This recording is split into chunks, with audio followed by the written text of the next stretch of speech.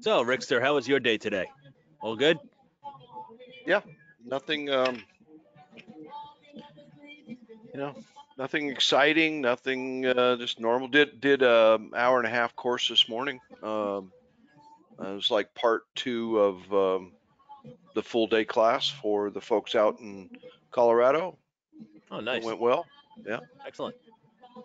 Hey, Mr. Trotta's here. Mr. Trotta. is here. How do you not recognize Mr. Trotta? Mr. Trotta. the third. Good evening, Wheels. Wheels is with us, all right, in the house. Woo! All right, let's get this show on the road because this house is rocking. So don't you come knocking. Good evening, everybody. Welcome to what? What episode is this? This is this is like getting like Nine. Star Wars. How many episodes do we have? What's this episode? Turn me on, seven? Turn me on, Dead Man. Number nine. Number nine. Very good. Number nine. Yeah, this is episode number nine um, of Taco After Dark. Uh, welcome everybody, and uh, and uh, and a shout out to mechan- the guys at Mechanical Hub, Tim Ward and John Mesenbrink. Why don't you say hello to everybody and and thank you guys for putting this thing on. Hello, everybody. Uh, thanks Hello, for joining. everybody. You know, week nine, man. This is uh, this is great. Uh, Yeah, this we'll- is like number nine dream almost too. If you want to get you know, Mr. Mayo, see if you remember that one.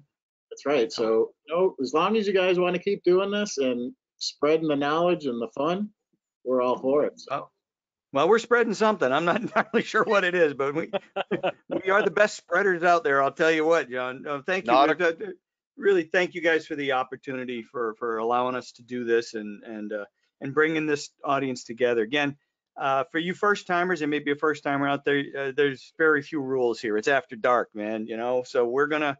We've got a we got about an hour's worth of presentation, and then after that, all bets are off. Uh, you can stay on as long as you want after that. Uh, we've been on as, as long as an extra hour and a half, uh, uh, going into like 9:30 at night, uh, just answering your questions and shooting the breeze about hydronics. So any questions you guys have is fair game, and we're, we're happy to answer them for you and and and go do a little back and forth, and that way we can all learn from each other, and we uh, have and have a good time while we're doing it too. So that's uh that's kind of that's kind of that's kind of the the Taco after dark way. All right. And for those of you who've been with us, you'll note that the uh, the the theme, of course, is the law offices of Vincent L. Gambini, representing Utes since 1992.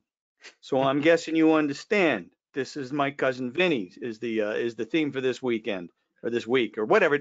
All right, it's coronavirus time. I don't know what day it is anymore. Week, weekend, whatever it is. We're all over the place. It's all the same. It's all the it's same. all the same. It's all the same. So let's get this show started. Um, well, before we get there, John, just uh, yes, just oh, right.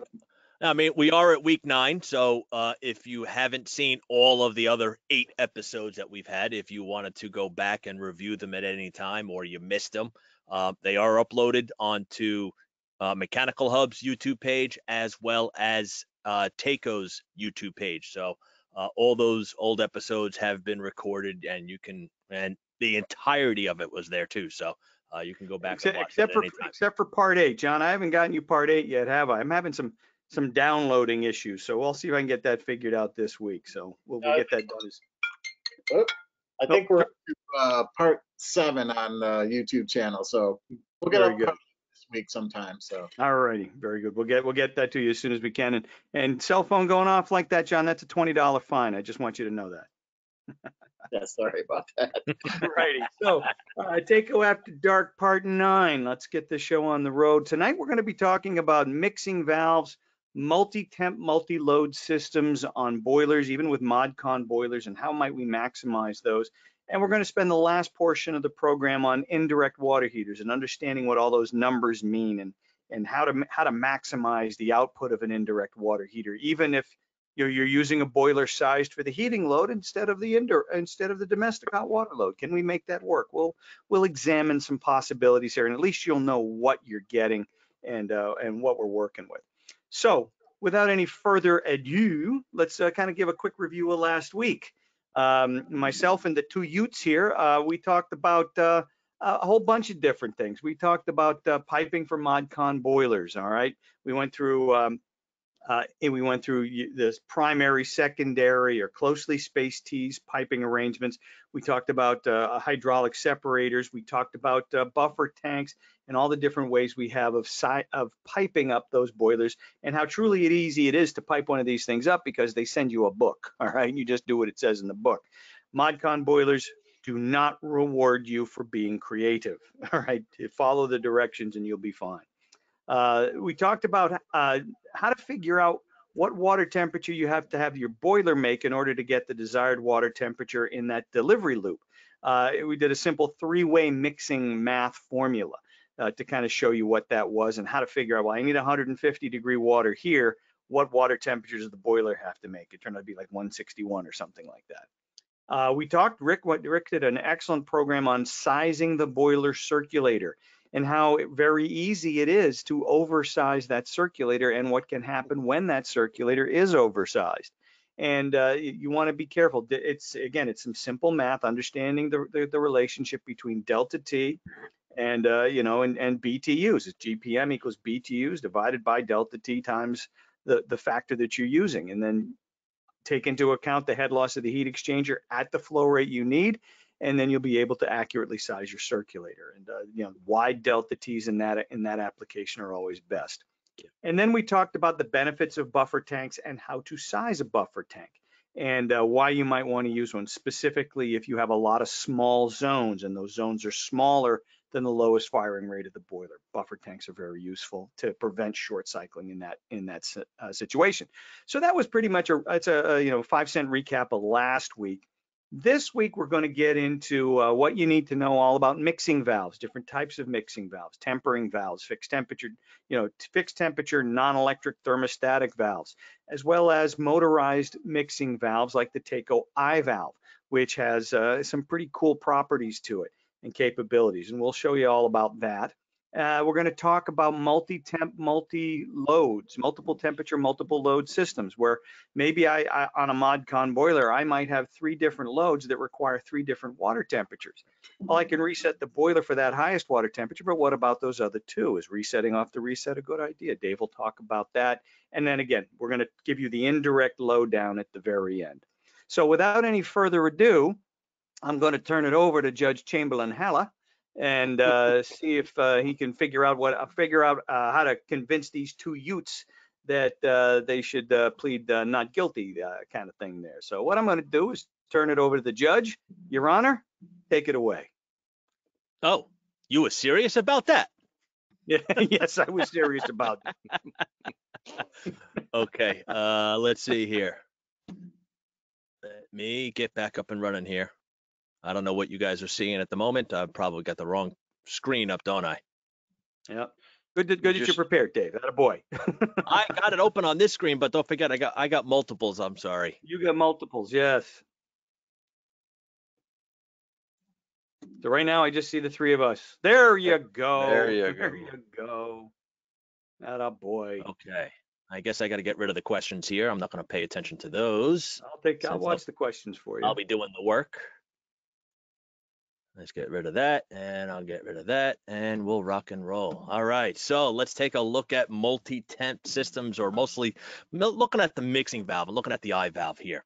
Um, to a degree. I mean, we talk about it uh, uh, quite often. Uh, damn it. Wrong button. Whoops, whoops. Yeah. Sorry. Whoops. Whoops. All right. Yeah. Why? Yeah. So, um, looking at using the the I valve here uh, for some reason, or modulating the water temperature, uh, but not just the boiler water temperature. We want to look at uh, the load temperature going out to the system itself. So, we we might be looking at a boiler system that's already going to have uh, a high temperature connected to it, maybe some low temperature, but also not just radiant floor also we can actually lower the temperature of our other systems that we have connected to it so you know the outdoor reset is good but we're looking at boiler reset here. And when we can get individuals and start looking at load reset then we're going to start looking at system reset. So and we're going to make the wiring simple. We want to make it an easy system. We're not going to make it that complicated here. Um, So now we're looking at possibly resetting individual zones. As we're seeing more and more zones show up in a house. You know, we, we look at the boiler controller, um, and that is looking at the outdoor temperature and modulation of water temperature there. We're not looking at doing anything that exquisite with the control in there. We might change the water temperature going out to the system itself, but it doesn't know the zones. It knows what the boiler sees and that's it. And it's going to assume it's a single zone out there. And and also when we start looking at some of the load reset controls and components, we're also going to be able to get some of that boiler protection if needed if we're not looking at our mod con that has an outdoor sensor on there where we might be looking at cast iron. So so to really think about load reset or even outdoor reset for that matter too is a couple of things we're paying attention to as as the outside temperature drops obviously the heat loss is going to change and as that heat loss is changing you know the, the heat loss is going to increase as the outdoor temperature is starting to decrease and when we start putting these components in here some of the best analogies that i like to give to um, outdoor reset, especially when talking to about it with a customer, is do not use ever the terminology that we are familiar with because they have no idea. You're going to get homeowners are going to look at you with the hinge neck syndrome. They just start shaking their head and agreeing with you, and they have no idea. And what they're really thinking about at that time when they're talking to you is, all right, when's this guy going to stop talking? And you know, I'm just going to keep on agreeing with him so he actually moves on to something that I understand.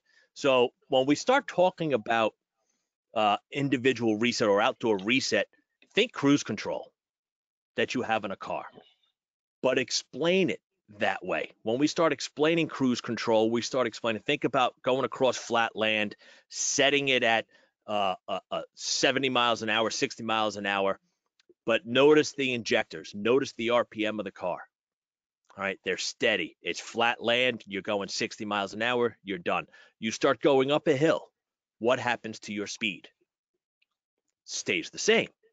So the speed's not changing, but the RPMs are going up, and and uh, you're, you're going to hear the injector starting to go in the car itself. And same thing when you start going down a hill, everything starts to back off. When you're going down the hill, hey, it's getting warmer outside. When you're going up the hill, it's getting colder outside. So now that's what we're looking at here. And now what we're going to do with load reset is do that on individual zones because then it's also paying attention to what that thermostat setting is. So it's not just, you know, looking at the whole house as a whole or looking at the whole boiler, but now we start looking at individual zones at the same time. so, yes, reset baseboard. There are way too many projects that I hear out there um, that has a nice, beautiful ModCon boiler hanging on the wall, and the outdoor sensor is in the box next to the boiler. Never hooked up. It's just sitting there, right? Rick, you've probably run into a lot of jobs yourself, right? You know, and I and I hear out there a lot. It's I'm hearing about 60% that don't have the outdoor sensor hooked up because it's hooked up to a high temperature system. Um, so it's just understanding how the system works and understanding what we're going to get out of that. So yes, we can definitely do less than 180 degrees for baseboard. So for example, let's take a look at these charts here from SlantFin. So we take a look at the SlantFin element, and what you're looking at here is individual temperatures in the columns, and then we have our different water flows. Now, John already went over these. All right, when we were doing some calculations earlier uh, in the presentation of a couple of weeks, I don't even know, week three, week four, maybe something like that. Right? Didn't we Heat pull these up sometime? Yep. We did. Yeah. Yep. So That was But session what I want session two it was? Yeah. Okay. All right. Um, so let's take a look at what we've got going on here. So with these different columns, when you look at the 180, a lot of people immediately pull the 180 column. All right. That's actually average water temperature. That's typically 190 boiler water temperature with a 20 degree delta going back to 170. So we want to use the 170 columns. So, but we can get BTUs as we get cooler. Now, this area here, why is it grayed out? Why is it we have shading on here and asterisk? Hey, pay attention to this because one, we might want to use a ModCon boiler in here. And two, what if we're doing a retrofit or putting a new boiler into a house that has existing baseboard in there? Doesn't need to run at 180 degrees. Let's lower that water temperature. But what temperature do you run it at? So let's take a look at doing the math here. So our example is saying yeah, we did a heat loss on the structure. Yes, you're going to need to do a heat loss if you really want to gain some efficiency out of the system itself. So let's say we're around 25,000 BTUs is the heat loss of this structure. But 70 feet got installed. And you know that's not hard. You know, you only needed 50 based upon the 25,000 BTUs, but 70's installed. And when you think about it, you know, I know a lot of parts of the air, know, a lot of parts of the country, people walk into the room, they see an outside wall with a window, fill it. That's how much baseboard goes in. There's no load done. So, or if there was a load done and you had a 10 foot wall and the heat loss calls for six and a half feet, what ends up in there? You're going to drop whole 10 feet in there, right? We don't want it to end in the middle. So we're going to be over radiated. So let's do the, the, the math in reverse here. So let's use a lower water temperature to take advantage of the amount of element that we have installed in the house. So we know we can deliver over 35,000 BTUs running that 180 degree water. So if we come back and let's just do some quick reverse math. What, how many, what temperature do I need? So you just, you can just grab a column and just test it out. So by grabbing, say, um, the 150 degree column at 380 BTUs per linear foot, multiply that by 70, that gets us 26,600, which is over the 25,000. So that means, all right, that's our maximum water temperature that we would need to run out to the house. We don't have to go any hotter than that because we have so much extra element installed in the house. So let's use a lower water temperature and let's call this for the first floor of the house. And we'll lower the water temperature. Not necessarily, you know, we could do that right off the boiler reset control. Great. Maybe another zone is going to be just as over radiated, maybe even percentage wise larger than this. So we can drop it down even further. And especially if you're looking at that ModCon boiler. So now you've got, you know, you've got your loads, multiple loads being reset. You've got the boiler being reset. And now I look at the two together as being a system reset. And now you're singing and dancing and letting everything do what it's supposed to be doing. Modulate the world. All right. That's the way I look at it and trying to do a lot of our radiant our our heating systems. And think about tying this into radiant floor too. You know, so now we're looking at even cooler water temperatures coming back into that boiler. So how are we knowing what's going on and how do we control the water temperature? So it's it's based upon an outdoor reset curve. And there's there's some information that needs to be put into it to and and need to know about the system itself to know where you need to go. So we're looking for outdoor design temperature. Use the ASHRAE numbers. Use what's in your neighborhood, not what you kind of think it's going to be all right, or what you've ever think you've seen before. So use those ASHRAE numbers. And, you know, for, for where I am on Long Island, ASHRAE design calls for 14 degrees above zero. Does it get colder than 14 on Long Island? Yes, it does. All right. And, but that column, you know, when, when, when ASHRAE has, has recorded the data, they have said on Long Island, it's 14 degrees above zero for 97.5% of the time.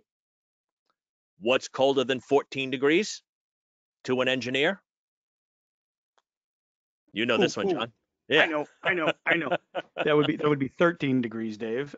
yeah. No, no. It would be 13.99. Nine, That's nine, huge. nine, nine. Uh, There you go. So to an engineer, that's monstrous, right? So trust the numbers, trust the math that's being done. So use that outside design temperature because when it gets to 14 degrees on Long Island, I can send 160 degrees. But what you could do on the systems itself, if it does get colder, you do have that little bit of extra to keep going back. For example, it will if you go back to a a, a maximum design water temperature, it can go as it gets colder. So use that number.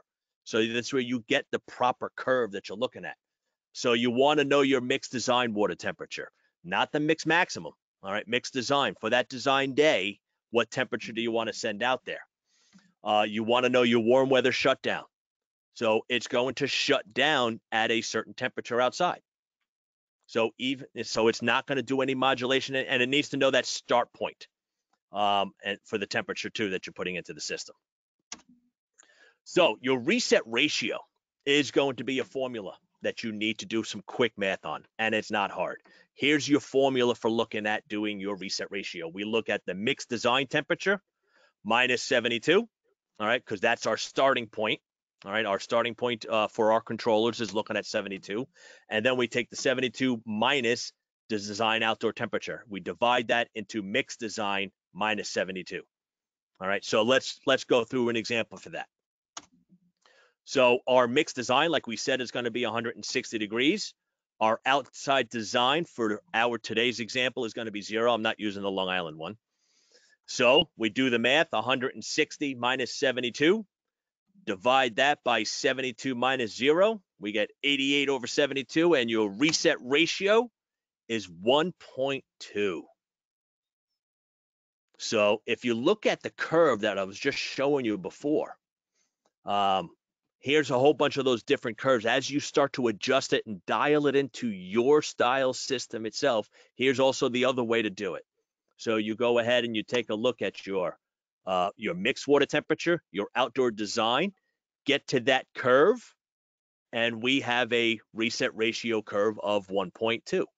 So that's your second way that you could take a look at. Use the instructions, use the book that comes along with the controllers so you know how to set it up. So that's what we're looking at as a reset ratio of 1.2. What does 1.2 mean?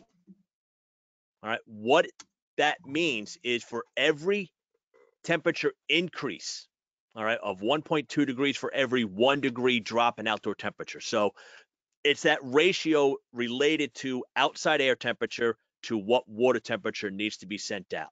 So it's going to modulate that back and forth based upon the temperature changing outside. All right, does that make sense? Are there any questions so far, John? I haven't No, we're been do- paying we're doing- attention we're. Doing pretty good here as far as the Yep. sorry, as far as the questions are concerned. Okay. Um, Yep, uh, uh, well, there was one question regarding that outdoor sensor. And it, it had to do with, uh, uh, do, would you use an outdoor sensor? Would you connect the outdoor sensor on a ModCon boiler when using a buffer tank? And, uh, obviously the short answer is yeah. Uh, I Mhm, guess the, mhm. the long answer is why wouldn't you? Right, right, Gentlemen? right. Yeah, yeah.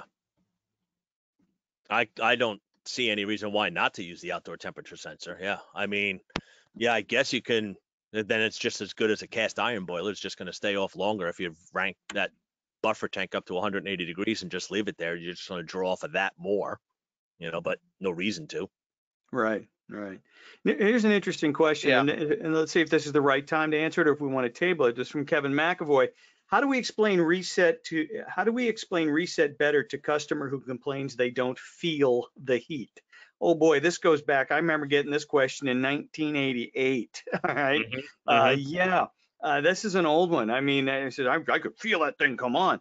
Uh, it, it's kind of like you know, it's not that do, do you feel the heat? Do you feel comfortable? Um, best one, the best one I ever heard was this. Um, was uh, you know, when you uh, over the course of the winter, do you always wear your warmest clothes all the time? Your warmest jacket every day of the winter? Well, no, you don't. You have a jacket, you know, your your your super thermal jacket for when it's zero degrees outside. When it's 25 degrees outside, you might have a different jacket, uh, or you don't zip it up or something like that, or you don't have the long johns on underneath. And then when it's maybe 40 degrees, you're wearing a much lighter jacket. So, you know, you have different clothes for different outdoor conditions. It's the same thing with your heating system. You know, you could you could either wear that that that heavy thermal, you know, well below zero jacket when it's, you know, 45 degrees outside, just keep taking it off when you feel too hot and then put it back on and then take it off and put it back on. Or you could wear a jacket that's appropriate for the for the for the for the for the weather th- that always worked for me. And I don't, I don't know if you guys have any other other uh, um, uh, methods. I- Uh, but I think that's always worked for me. I think it's just explaining to homeowners what's going on Mm-hmm. because they have been drilled into their head that the only way to save fuel is to do setback.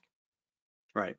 And that's why I said if you're going to talk to them what we're doing in reset, talk to them in their words, not ours, Mhm. because they don't understand our words. They understand cruise control in a car. Yeah. You know, explain it Yeah. to them in those terms. Um, stop doing. y- They can still do setback, just don't do so deep a setback. So they've been told, oh, 8, 10, 12 degree setback. No, do a couple.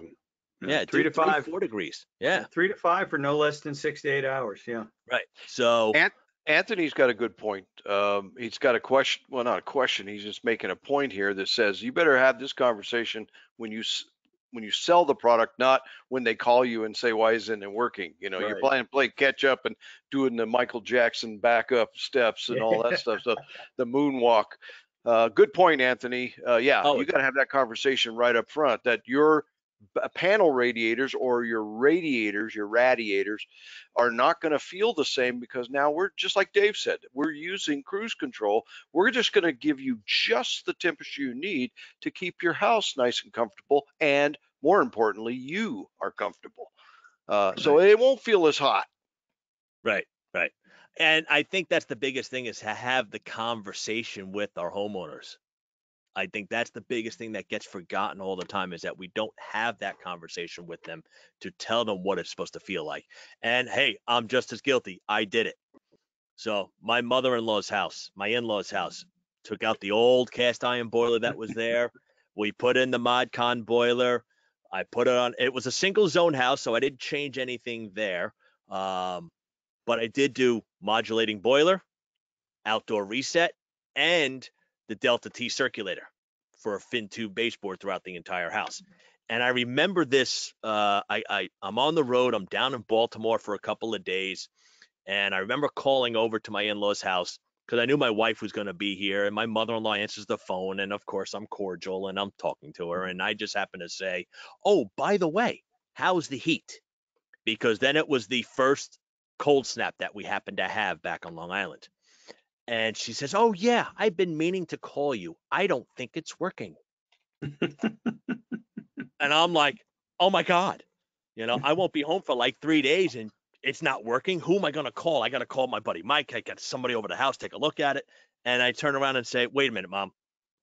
Uh, so what's the the thermostat setting? What's it? What's the temperature in the room right now? And she says, "Oh well, it's 68 degrees." And I said, "Okay, well, what do you have the thermostat set for?" And she said, 68. If you do the math, It's working. That's working. so what she didn't, you know, um, thinking about it was she didn't hear it anymore. It didn't Mhm. hear that rush of water going through the baseboard pinging and ticking and things like that and all making that noise. So I did not have the conversation with my in-laws. All I told them was, I'm putting in a new boiler. Let's make it better. And that was it. So understanding the reset curve too. So is, is, is some of those things to change. Now, uh, if you need to change the reset ratio, then you might have to change the water temperature. So still reset it, but now maybe change the temperature to getting to a um, your design temperature earlier, meaning not wait for zero degrees, maybe come in at 10 degrees or 20 degrees and hit your design. So you flatten out the curve so you're not getting as much. So it may depend upon the house itself and the systems that is going on there. Jerry McPeak actually has a really good point. The difference between an explanation and an excuse is when you tell it. I would say any married guy knows that. Um, Jeff Kelly's got one um, in regards to he's he- the stratification within a buffer tank. He's talking about you know sending too hot of water out. Uh, Jeff, a lot of the manufacturers will allow you two different sensor locations.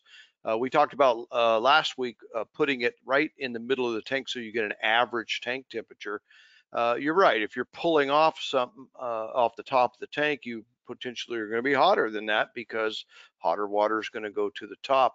Uh, what you can do, and other people have done this, is take that sensor and put it on the pipe coming out of the buffer tanker, uh, bu- buffer tank out to the system, and that will uh, take a better look at what that um, temperature actually is, rather than an average of what the tank temperature is. So anyway, Very Very good, good. very good. Dave, continue. All righty. Thank you, sir. All right. So let's take a look at it hooked up to a cast iron boiler. So if we are looking at a single zone like this, um, or maybe even multiple zones, we may be able to branch off of this and go to several circulators coming off of here. Uh, we are going to want to consider doing primary, secondary piping around that boiler itself. So this way we are not sending back this colder water coming back from the uh, from the heating zone.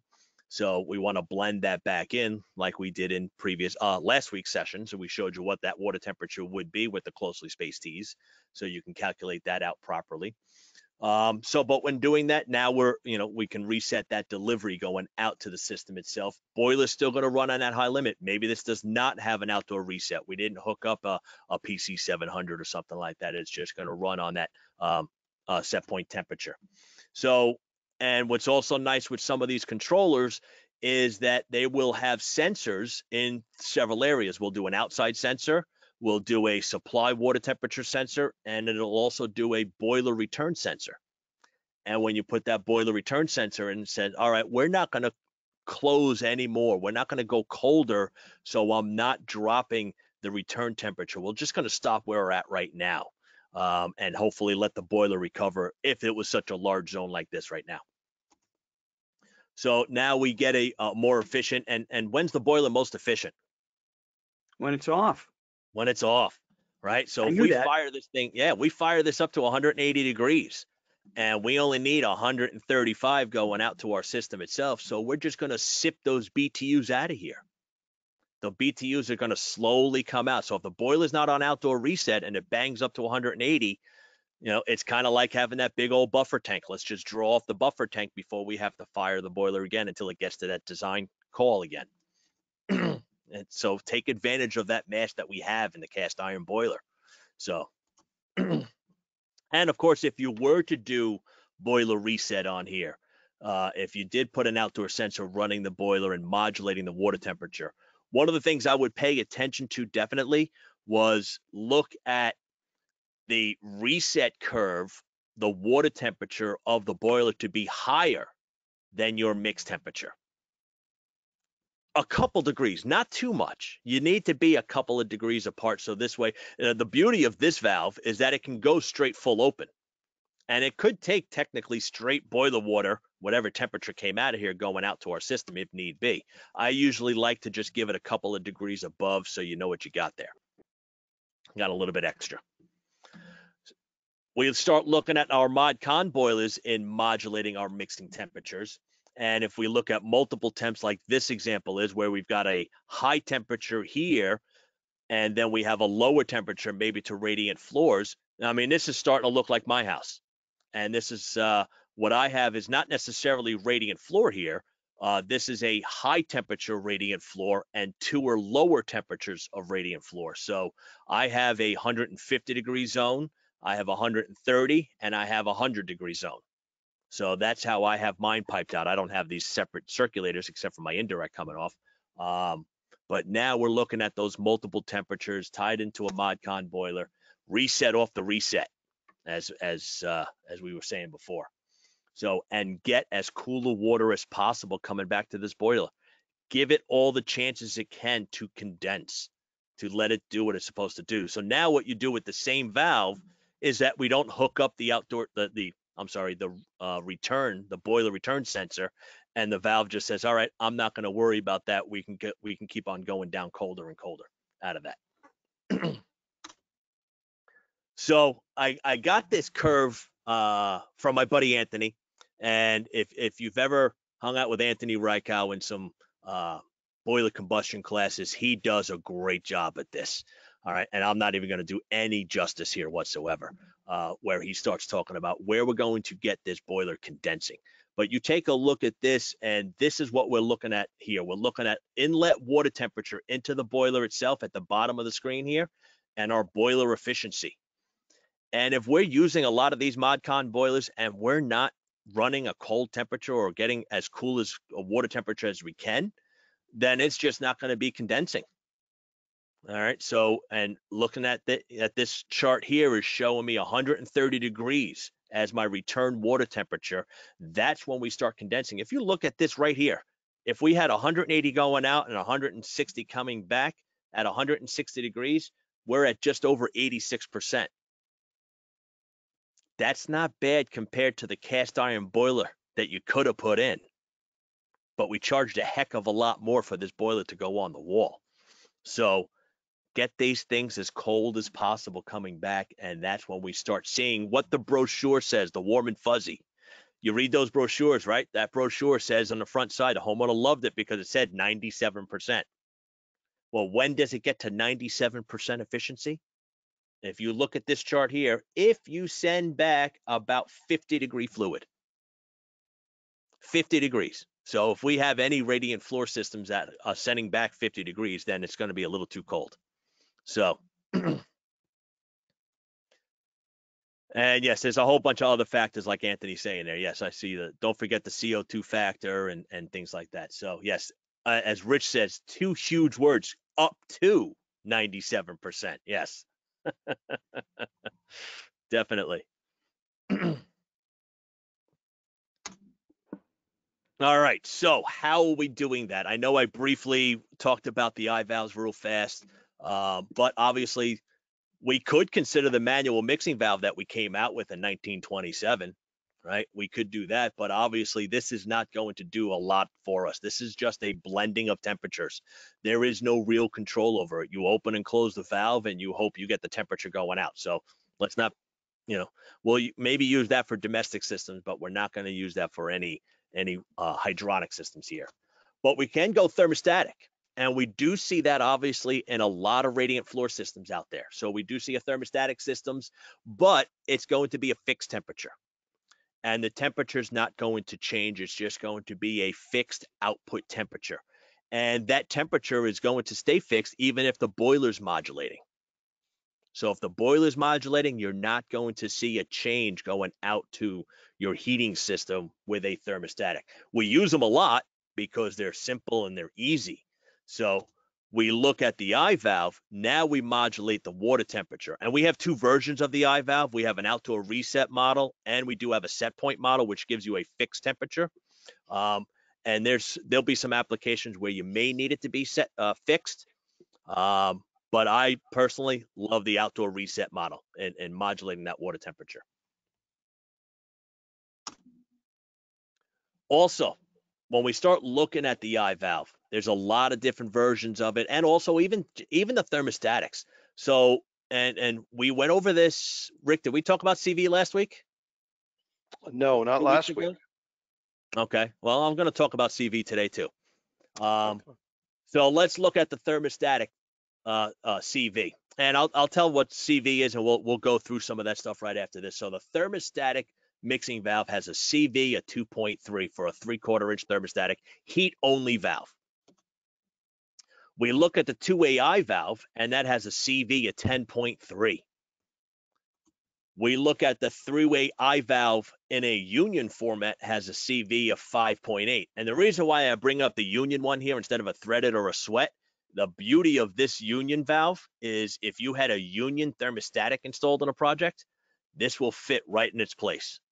And not necessarily from Taco to Taco, it could also be across platforms and, and cross manufacturers. So you had a system that had a standard thermostatic in there and you wanted to put in a, uh, a modulation, uh, you can go with the union. If you had a union valve, you can go with the union I valve to fit right in there.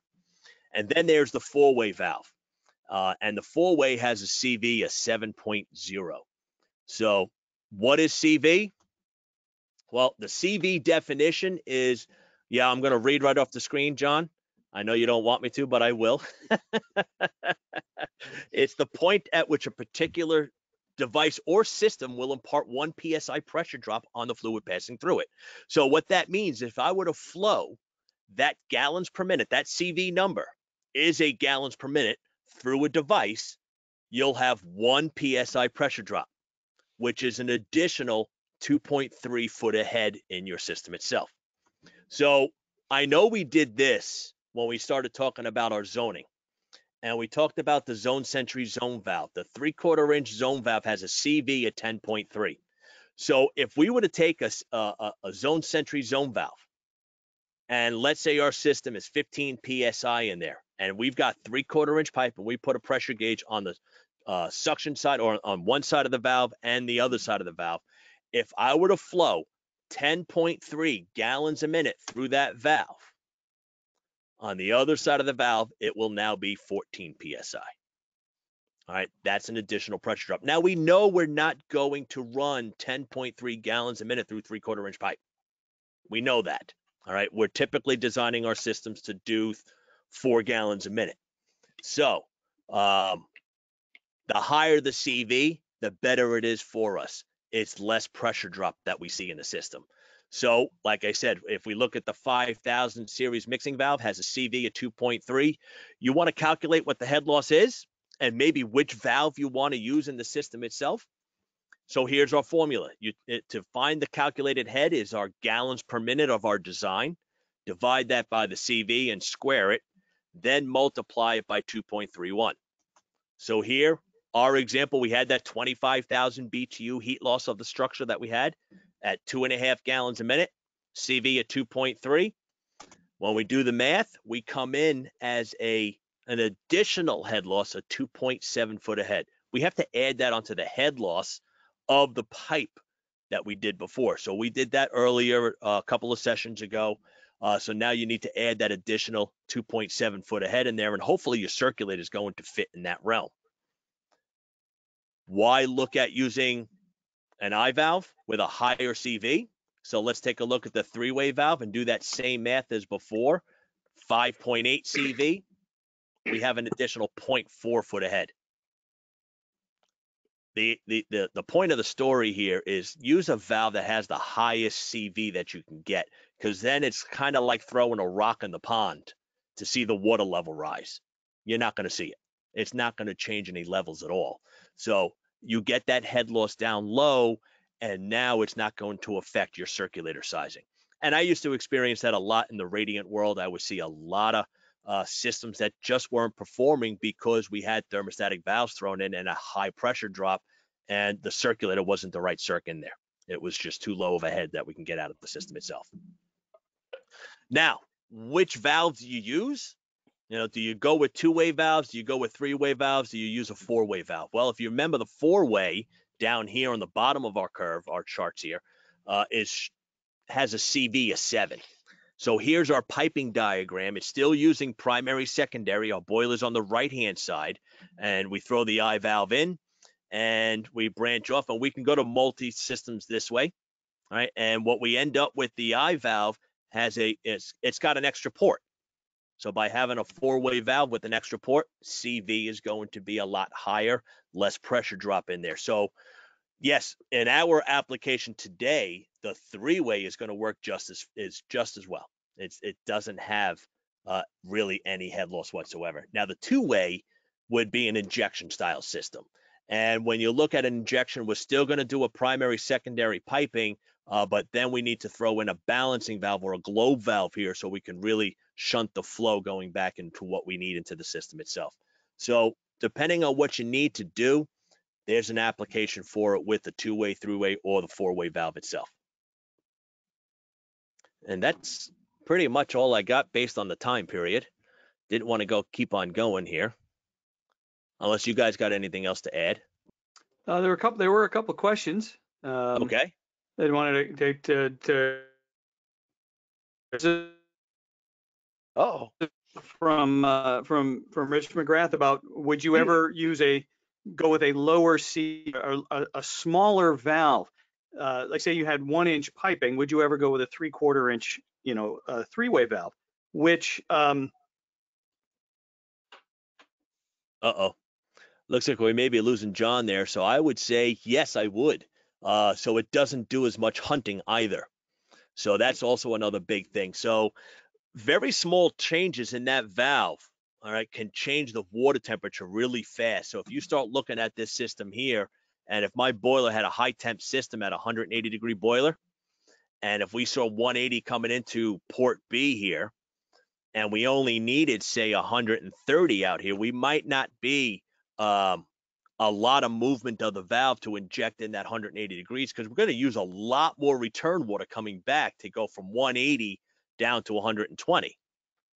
So yeah, you might want to undersize the valve just so it doesn't hunt. A- small changes all of a sudden slugs it with a ton of hot water, and the valve says, "Oh wait, too much, back up." Oh wait, Right. nope, I got to open some more. Got to go back and forth there. So we got to really watch that. I just uh, canceled my webcam for a little bit. My my connection slowed down, so I'm just going to talk without you seeing me, which may be the best way for for anybody to hear me. Uh, so yeah, it said valve authority. You want to nar- you want to narrow that hunt a little bit. And then was an interesting question from Jeff Kelly. Would, would a would a variable speed pump make up for the CV? Well, no. I, I think it's it's it's additional head. It's not going to. We got to remember, Jeff. These things aren't magic. All right. No matter what people say out there, they're not magic and they don't do the thinking for you and they don't take the thinking out of it. They do specific things. So if you have a, let's say you have a Taco uh, 0015 E3 um, set to medium, you know, mediums, the medium setting, it's going to maintain a 10 foot ahead constant pressure differential. All it is is a flat curve pump.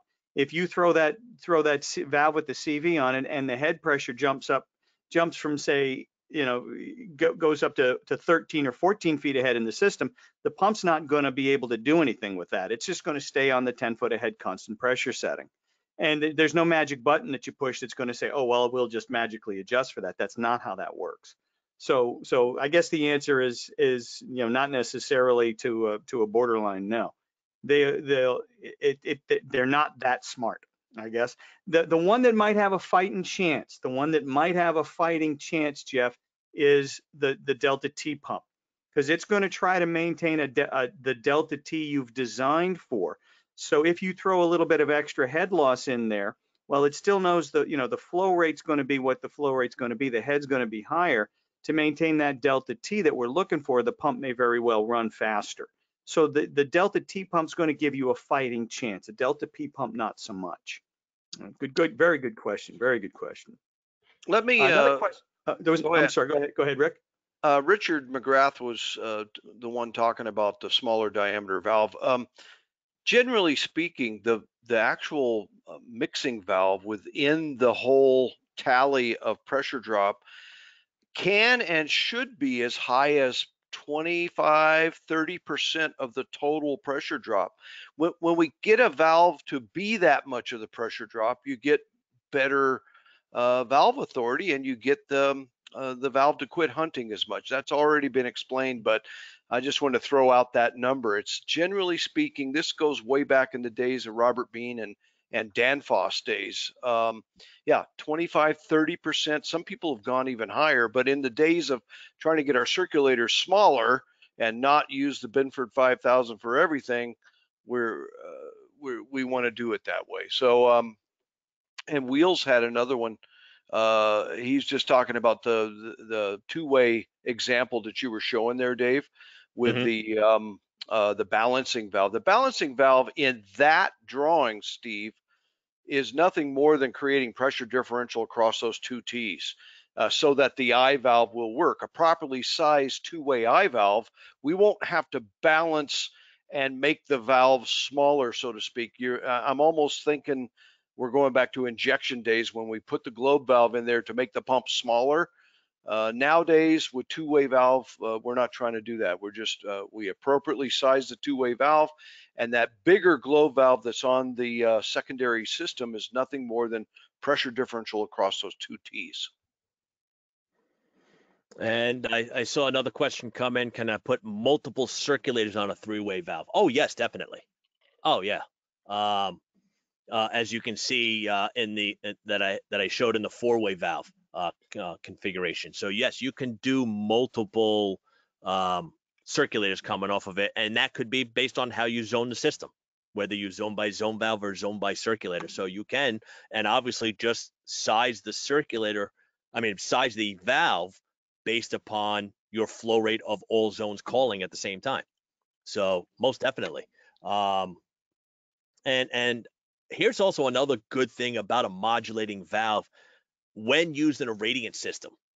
And I, I've seen projects that have had four, five, six different water temperatures.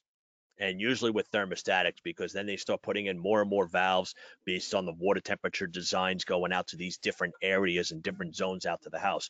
You start modulating the water temperature. Yeah, you might have a zone that needs 150 degrees, and then you have another one that needs 130, and then another one that needs 110. You can kind of start combining them because those numbers are only based upon design day, which is 2% of the winter, right? So once we start getting warmer outside, those design water temperatures actually start getting closer to each other. So we start making the mechanical room less complicated, taking up less space out there. So uh, whether you do zone valves, zone pumps, um, but we try to, I try to minimize with modulation of a valve, um, less mixing valves to show up in a project. So it's less complicated. So there we go. And Very we're good. back at it. Yes. I got one more question here, again, uh, follow up from Jeff Kelly. Uh, concerned me because we were using the variable speed for maximizing the delta T, but usually can't get the split in the delta T better than 10 as the weather gets warmer. Jeff, that circulator is doing exactly what it's supposed to do. Uh, not a lot of people acknowledge this, but it has a minimum speed. And as it gets warmer, it's going to get, you know, the system, as it gets warmer, the pump's going to go slower and slower and slower until it hits that minimum speed. And then it's when it's at that minimum speed, it's at that minimum speed. It's now a nine watt fixed speed pump, Yeah. right? And that's, that's kind of how it is. It's not going to be, it's not going to do anything else. It's doing exactly what it's supposed to be doing at that point. So, Yeah. so good. I'm glad we got that one squared away. Alrighty, I want to try, I'm, I'm, looks like I'm going to have to put 20 minutes worth of stuff into 10 minutes when we're talking about indirects. So let, let's let's get started and see how the how, how this goes. All right, and we also still have trivia questions and things like that uh, for you. Actually, let's do the trivia question right now. Uh, let's do the trivia question right now and uh, type in your answers to the trivia question and we'll take all the correct answers. Uh, by the time we're done, we'll take all the correct answers and we'll put them into a hopper and we'll we'll pick the winner. All right, uh, we'll pick a winner next week. You'll all be eligible. We're going to pick last week's winner in a little bit here. Next week, we're going to pick this week's winner, like clear as mud, right? Okay, let's make sure we do that.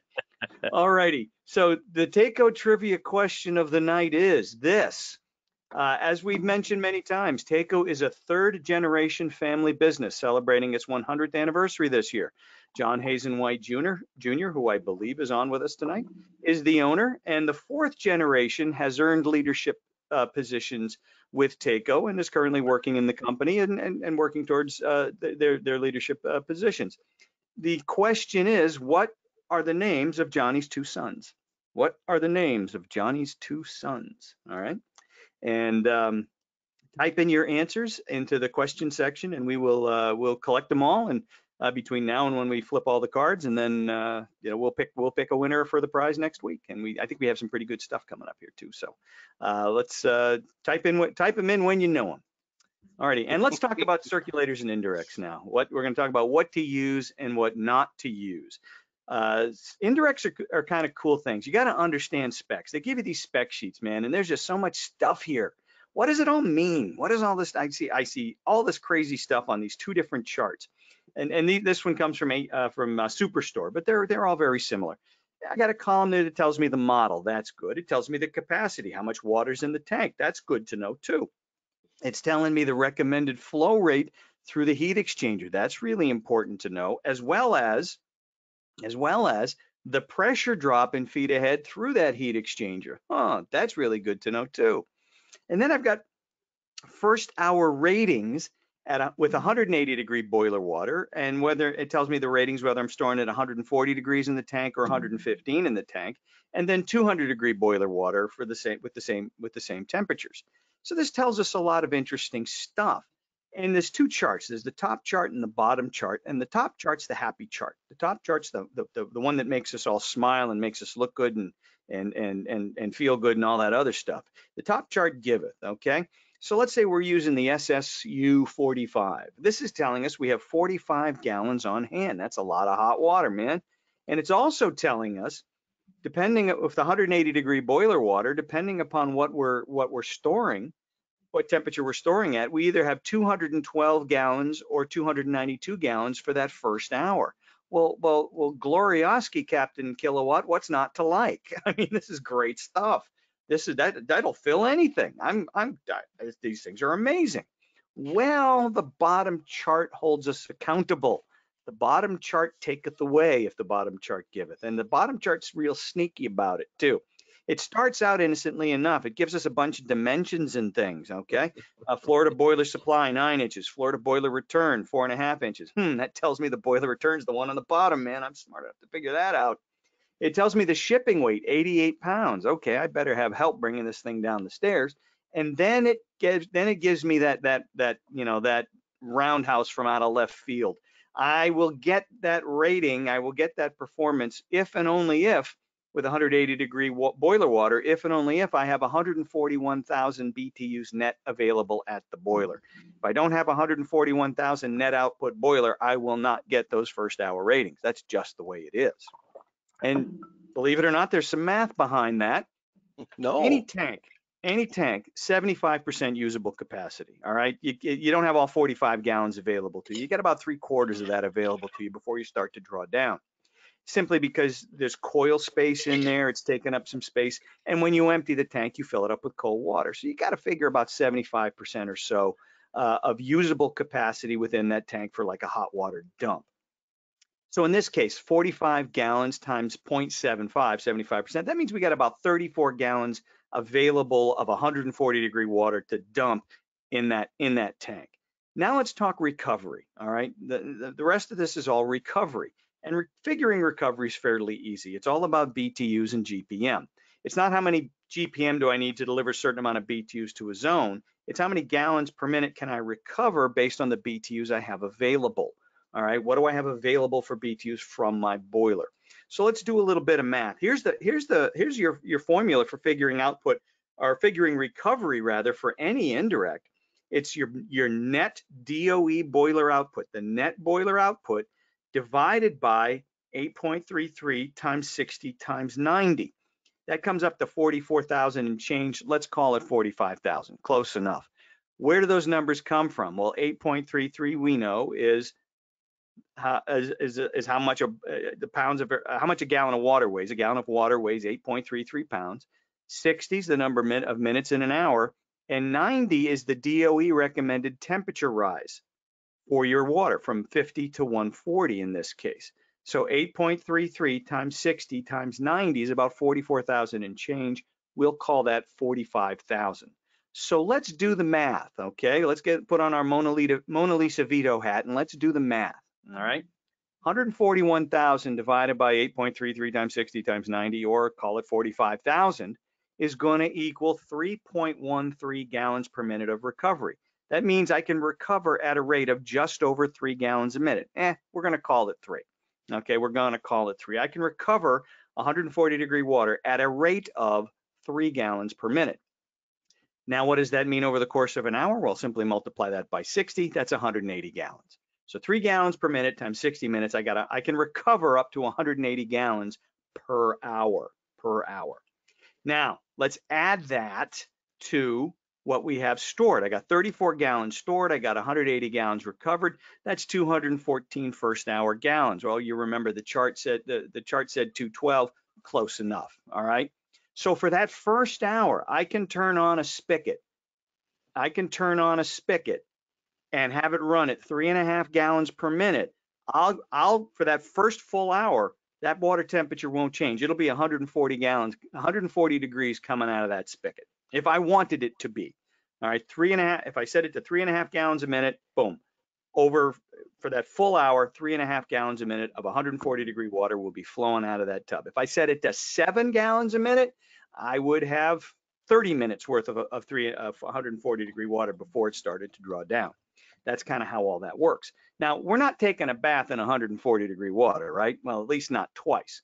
We're, we're going to be we're going to be uh, tempering somewhere, somewhere, whether it's at the fixture, whether it's at the tank, we're going to be tempering somewhere. So that's what gives us a lot of leeway with indirects. We can do a lot wrong with indirects and still get away with it because we store at a high temperature and we draw, we, we mix down. So it, it covers up a lot of mistakes, a lot of sins. And here are some of those big ifs that we have to be, be careful of. we have conditions, all right? First, you need 141,000 BTUs at the boiler. Yes, I'm sure to get that, you need 144, 141,000 BTUs at the boiler. I'm also sure that the boiler piping has to be proper. The pipe has to be sized appropriately. I know there may be a three quarter inch tapping on the indirect. That doesn't mean you can only run three quarter inch pipe to that to that indirect. If you need say 10 gallons a minute, you gotta you gotta put pipe 10 gallons a minute. You're gonna need one inch pipe going to that indirect and drop down to three quarter inch. It's mm-hmm. pressure drop at that point. It's not flow restriction. We're not cutting the flow. It's pressure drop. We got to get 10 gallons a minute to that heat exchanger, and we can only do that with one inch pipe or bigger. All right. So we need proper boiler piping. Yes, I'm sure. I'm positive. In addition, we also have to pick the right circulator. I got to be able to deliver the flow and overcome the head loss just like in anything else, okay? So let's let's take a look. What's that going to look like? And here's the other thing. Let's we'll take a look at that, but also what if we have a smaller boiler? What if I don't have 141,000 BTUs in the boiler? What if I what if I'm I'm sizing the boiler to the house load and not the domestic load? Is that is that a recipe for disaster? Might be. You know, let's see. Again, we use this formula. Let's say I've got a 75,000 BTU boiler. The uh, net output of that boiler is 75,000 divided by 45,000. Now you see what's happened to my recovery. I'm down to 1.67 GPM times 60 minutes. Now I've got 100 first hour gallons worth of recovery plus the 34 I have stored. All right. I have 34 stored with the 100 gallons re recovered. Right. That's 134 first hour gallons. Now I have to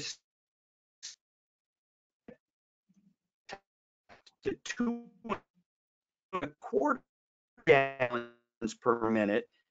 And at that point, I'll get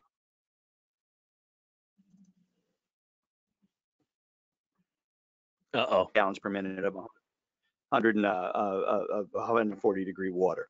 And that's not, that is a fact, right? That is a fact. All right. She was smart, that one, Mr. Marisa Tomei. All right. So these are things that, and, and can we still get away with that? Yeah, we probably can get away with that. Are we going to be okay? There's a really good chance, yeah, that provided everything's piped, piped properly. Now, if we go back to the chart, we see our recommended flow rate uh, for this thing is 10 gallons per minute. All right, 10 gallons per minute and 7.9 feet ahead. All right, so 7.9 feet ahead through the coil 10 gallons a minute through the through the through the coil itself.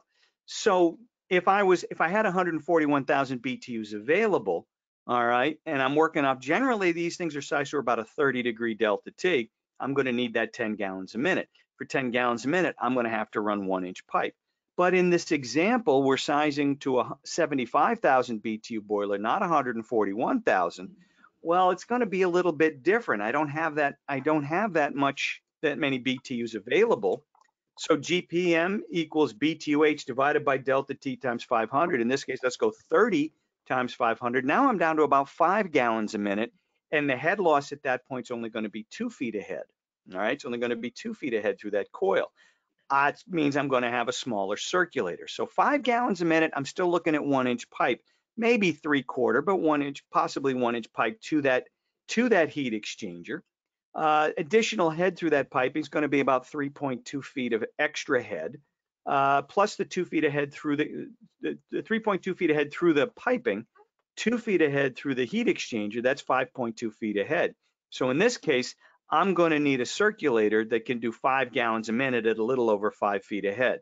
In the other scenario, I would have needed a circulator that would do 10 gallons a minute at about 10 and a half feet ahead. If we look at three speed circulators, uh, in the first scenario, I've got a 0015 standard efficiency at, at about high, at high speed, all right, 10 gallons a minute at 10 feet ahead. In the other scenario, I could bump that down to low speed. I'd have that nice 30 degree delta T. I won't be short cycling or anything, and I'll be getting the performance that I'm looking for out of that out of that um, out of that indirect with 75,000 BTUs available. I'm not going to have that 212 gallons per 212 first hour gallons. I'm going to have something less. But again, in a lot of cases, we're tempering at the fixture. We're doing all this kind of stuff. This is how you get away with a lot, all right, with indirects. Now understand there's that perfect storm out there someplace and someone's going to install that that six person car wash style shower so they so so they and five of their closest friends can all shower together uh, and and you, you it blows all your plans uh, just so those perfect storms are out there but just understand that that a lot of times you can get away with certain mistakes here and as long as you're storing at 140 and tempering down in many many cases under normal conditions you're not going to have that you're not it's not going to bite you in the in the in the tuchus. You might have that situation where two people are taking a shower at the same time in different bathrooms and all of a sudden after 10 or 12 minutes it starts to you, the water won't be quite as hot. Yeah that's reality okay? That's reality. So how do we get a an existing tank to perform better all right? Well we can use a tempering valve all right, we can add a tempering valve at the tank. All right, it, basically what it does is it makes the tank think it's bigger. It gives it delusions of grandeur, if you will. It makes a 45 gallon tank think it's a think it's bigger, think it's a 60 or an 80 gallon tank. If we temper at the tank itself, and then we still may be tempering out at the fixtures. It, it certainly depends how big is this going to how much is this going to help? And this is good this is good for any application any water heater not just an indirect any water heater we can use this math to figure out how much more usable storage we're going to have. So it's a two part math formula. The first one is this. Uh, T mix minus T inc divided by T stored minus T inc equals the storage factor. We we understand what these things are right? T mix temperature mix that's the mix that's the temperature you're sending out of that tempering valve. It's the mixed temperature. T inc, that's the incoming temperature, the temperature of the water coming out the ground. Divided by T stored, that's the temperature of the water stored in the tank minus T inc. All right, we do that math and we get what we call a storage factor, a storage factor. All right, let's do one. All right, let's do one to create capacity. Let's say we are we are mixing our water down to 112 degrees. That may sound like an arbitrary number, but we'll explain it in a second. We're mixing down to 112 degrees, and uh, the we have uh, the the um, incoming water is 50 degrees, and we're storing it at 140. All right, we're storing at 140.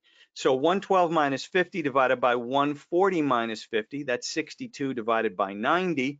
That's a 0.69 storage factor. To once we have the storage factor, now we can apply that to our stored capacity. What we'll do is we'll divide the usable capacity by the storage factor, and that'll give us our tempered capacity. So remember, our tank, our, our tank had a usable capacity of 34 gallons. 34 gallons divided by 0.69 now gives us a usable tempered capacity in that tank of nearly 50 gallons of nearly 50 gallons. So we've increased that tank's capacity by nearly 50%. All right, we've by nearly 50%. So again, usable capacity divided by your storage factor equals the tempered capacity. So that's part one. Part two is what would happen if we decided to push the old envelope. All right, let's push the old envelope a little bit here and let's see what we come up with. Let's say we store at 160. All right, let's say for giggles and grins, we're storing at 160. So 112 divided by 50 divided by 160 minus 50 equals 62 divided by 110. That's a 0.56 storage factor. 0.3 or 34 gallons divided by 0.56. Now that gives us a usable capacity, a tempered capacity of 60 gallons, and that's the same capacity as an 80 gallon tank. That's the same usable capacity as an 80 gallon tank. So what we've sort of kind of done here is we've turned a 45 gallon tank into an 80 gallon tank simply by storing higher and tempering down. All right. Now, is storing temperature, storing water at 160 degree temperature going to use more energy than 140? Well, yeah. Okay. Yeah. Uh, that's the price we pay for maybe having a, a tank that's not big enough for what I need to do. All right. So there's there's the there's the there's the rub, so to speak. But yeah, that's how that's certainly how we work that out. Now, I I did that exactly in my house. Yeah. So um because I went from a family of four to a family of six when the in-laws moved in and I needed some more capacity. We put an addition on the house and added um you know, another bath in there, another kitchen, another laundry room. So, um, so I cranked up that water temperature because I had a small tank in my house originally, and my boiler room is a closet. So that I was, if I would have put in an 80 gallon tank in my in my mechanical room, I've got stuff on the wall I wouldn't see again. It'd be covered by that tank. So which is manifolds and pumps and stuff back there. So um, so I crank, I put the I had the mix valve in there, cranked up the temperature of my indirect, and uh, rock and roll. More than enough hot water. There you go. Hey, I want to go back one here, one slide here, and Dave, uh, you, might- I, I'm going to ask you to explain this to everybody. What's with the 112? All right, and it, it has to do with specific tempering valves, and it's not every tempering valve, uh, but it has to do with how tempering valves work. So why don't you take that one? That's correct. Yeah. So um, it was more important in the earlier screen when we had 140 as our storage temperature uh, in the in the system itself. So here at 160, we're okay there. But when we had 140, we chose 112. So probably taking the valve and turning it down because most of them come out of the box set for 120. And that is because depending upon the model of, of, of mixing valve, a lot of them are looking for a 27 degree spread between the storage temperature, or meaning the hot temperature coming in and the mix going out. Some of them can get down a little lower, uh, but a lot of them do look at a, uh, a a- at least a 27 degree spread or more in order for it to operate properly. Otherwise, you get, you know, you don't get the right thermostatic operation of the valve. It's not a motor. It's just that wax element on the inside, so it needs to see that temperature difference. And I know Rick always knows uh, the difference in the code numbers. I can never remember the numbers of the codes on which one is which. Some of them are 10, some of them are 27. Right, and and if you and if you used a 20 a, a valve that required that 27 degree temperature difference, and you set it up for for a 10 degree temperature difference, you'd get sandwiching, right? You'd you'd have very inconsistent water temperature control. So the water would be hot, then it'd be cool, and be hot, then be cool. Um, we have valves that are 27 degree temperature differentials, and we have valves that are 10 degree temperature differentials. So it just a matter, you just got to make sure you know what you're choosing when you're looking at the specs, make sure you pick the valve that's going to do what you want it to do. So we, like I said, we have both. Very good, very good. Want to do a couple things here. Um, first things first, the trivia answer. An awful lot of you guys get it. So here we are, as of 8:11. As of 8:11, no more answers, uh, but an awful lot of people had them. And the, the oops, sorry, the correct answer here is John or J3 and Ben. So those are the those are John's two sons who will who are in the process of of of working their way into the into take management and uh, to, to find young two fine young men as well. So we're we're we're we're, we're happy to be working with those guys. So Hey, John. those are then that's that's Taco the next generation right there. Hey, John, somebody had answered two Utes. Does that count? Yeah, they're two. they're two Utes, yes, and I Two Utes. represent them. Two Utes, yeah. Yes, Johnny's Dan- two Utes. Dan, I did write that. I did write your name down just to record it, just because I like the creativity behind it, brother. You know what? That's going to count as a right answer in my book. yeah. That's what that's going to count as a right answer. There you go. I love it. I love it. I love it. I love it. Okay, uh, Dave, let's Yes, uh, sir. before we talk about next week, where we're going to see you Utes next week.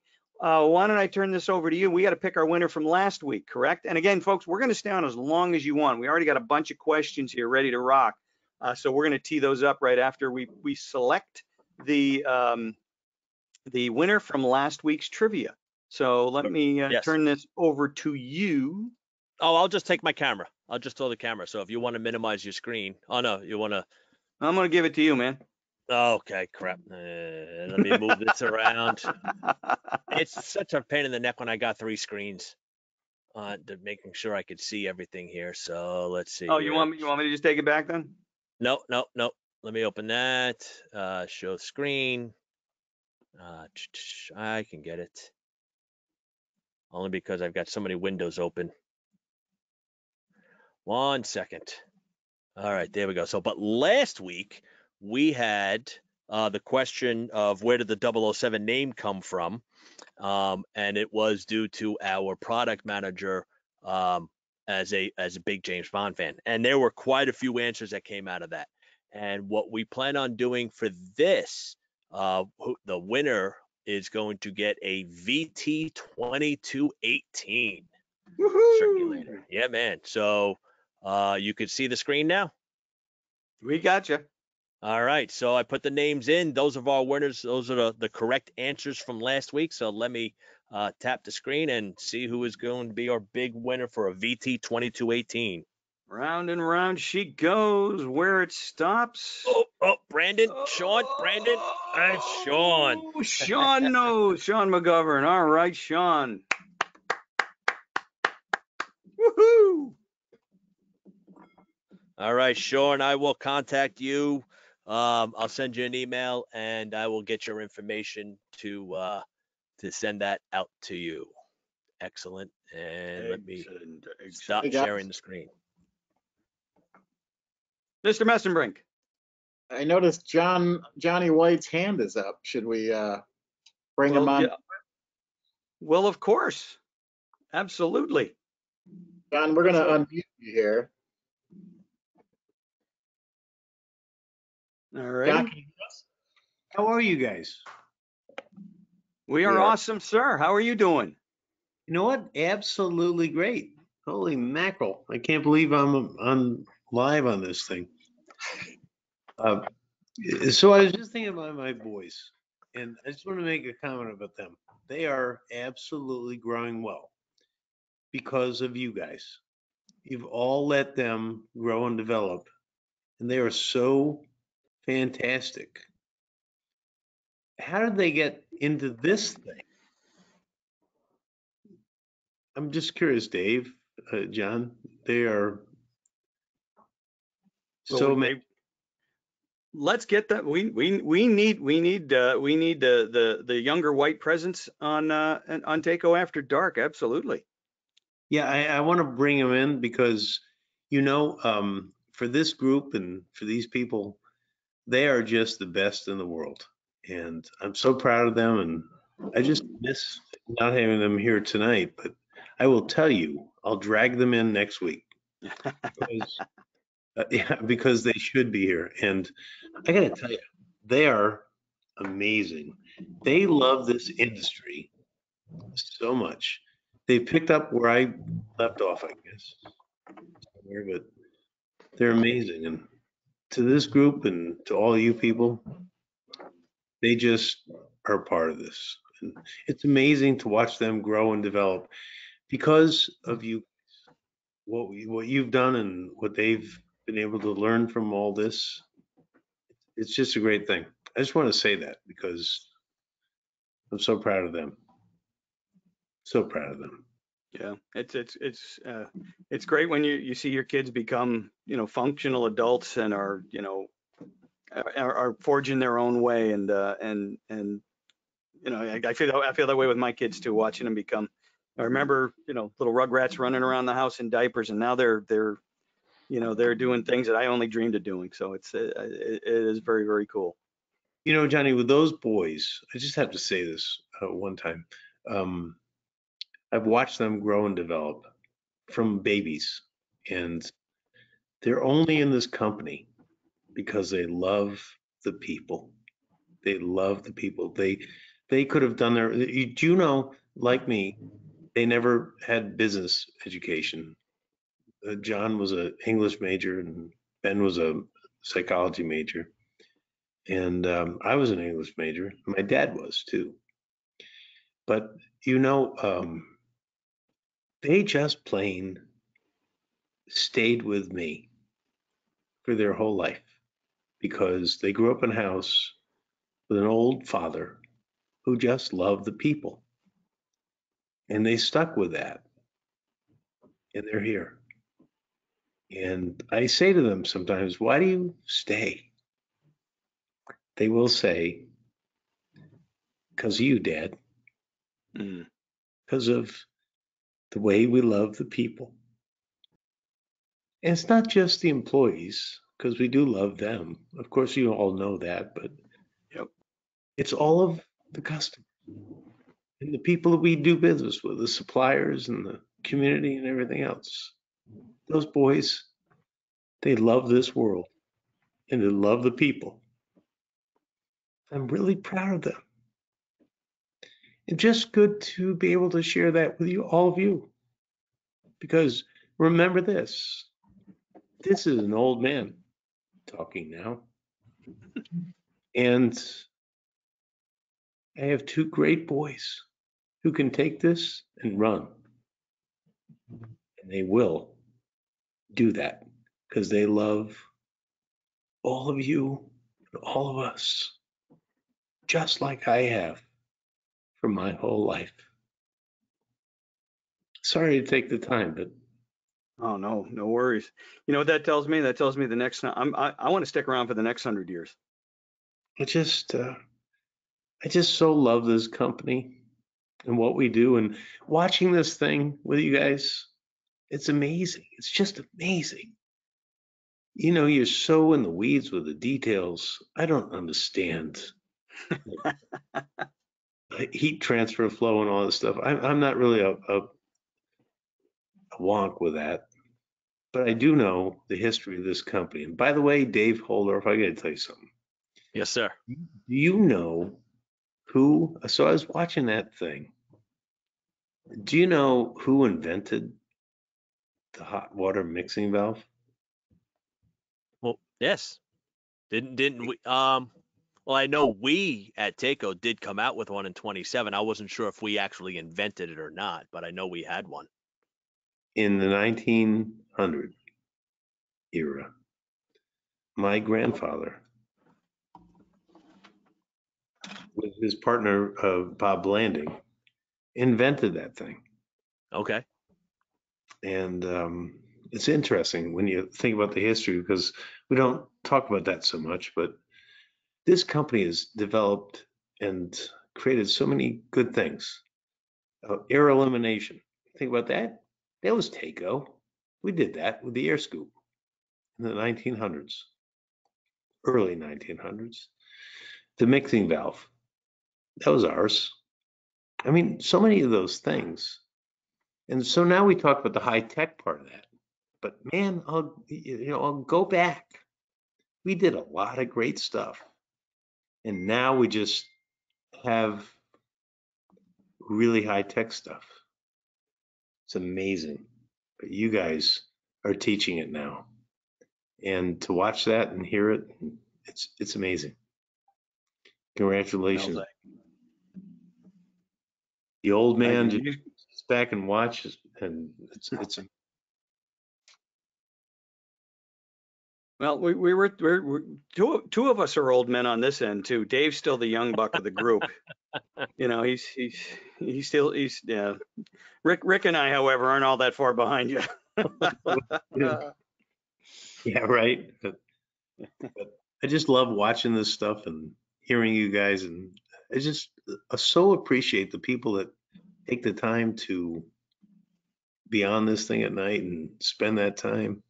Thank you, because it matters to me and to Taco to be able to share time with all of you. That matters to me so much you can't believe. I just love this company. I love this industry and I love the people. And thank you.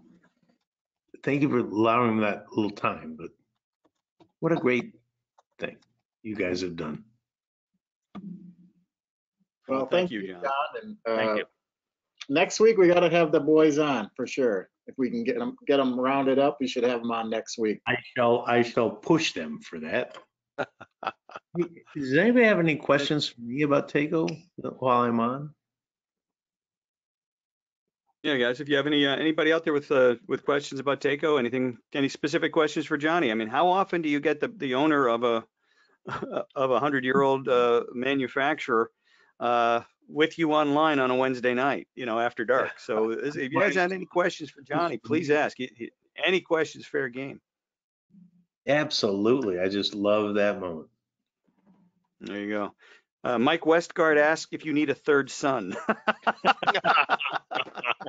Well, well, Mike, you know, actually, I'm not sure if I don't have one. I, I Oh. Uh, and here's one uh, from Jarrett Gluck. What is the origin of the name Taco? So that's a great question. So, uh, you know, my grandfather started this company um, in 1920. He was a salesman for um, a boiler company, National Radiator, and he broke away because he wanted to have other products to surround the boiler, right? And so he created Taco. He bought some broken down little company that was doing a thing with a water heater, but TACO comes from Thermal Appliance Company. So it's an acronym, right? Thermal Appliance Company. And that's what it was. And the, he, he went on to develop, um, as I said, you know, the, well, first the, he developed the tankless water heater. That was his invention. And still they're sold, the tankless coils. Mhm. But um, went on to develop the um, uh, air separator and the um, mixing valve and oh, so many more things. It's interesting, but it's a great question. So it's Thermal Appliance Company. That was Taco's origination. Yep, A lot of guys have asked me, how come you named it after a Mexican treat? And I said, no, no, no, no, that's not, that's not taco. It's no, no, it works though. It does work. I, I could tell stories about that. Well, I won't now, but. But Uh, uh, let's see, uh, here- here's something from Dan Cook. Tell Johnny thanks for supporting Weil-McLain with products uh, and these three guys at our training sessions in Michigan City. And uh, from Peter Kupchik, not a question, but a thank you. I've been using Taco products for over 35 years, always dependable. I hope to continue for another 35. Thank you and stay healthy. Well, thank you so much. And I will tell you, by the way, uh, McLain. So I got to tell you this story real quick. I was uh, my first job at Taco was it was a nothing job, but my second job or, or whenever I came back, I was working in the factory for years. And when I got up in the echelon somewhere, uh, I was given the job of creating the OEM division. We didn't have one of those at that point, and I created that and began calling on the boiler guys. It was Weil-McLain and um, HB Smith at the time, and oh my gosh, uh, Burnham and and Weil and Burnham were so loyal to us and gave us a chance uh, to be who we are. And I look back at this time and oh, they all were great. Oh, New Yorker Steel Boiler and my gosh, Peerless and they all just gave us a chance. But Weil was special to me because I had a great relationship there and I could walk in and be in the factory. You can't do that anymore. But man, I, I just loved those days. That was in the 80s. And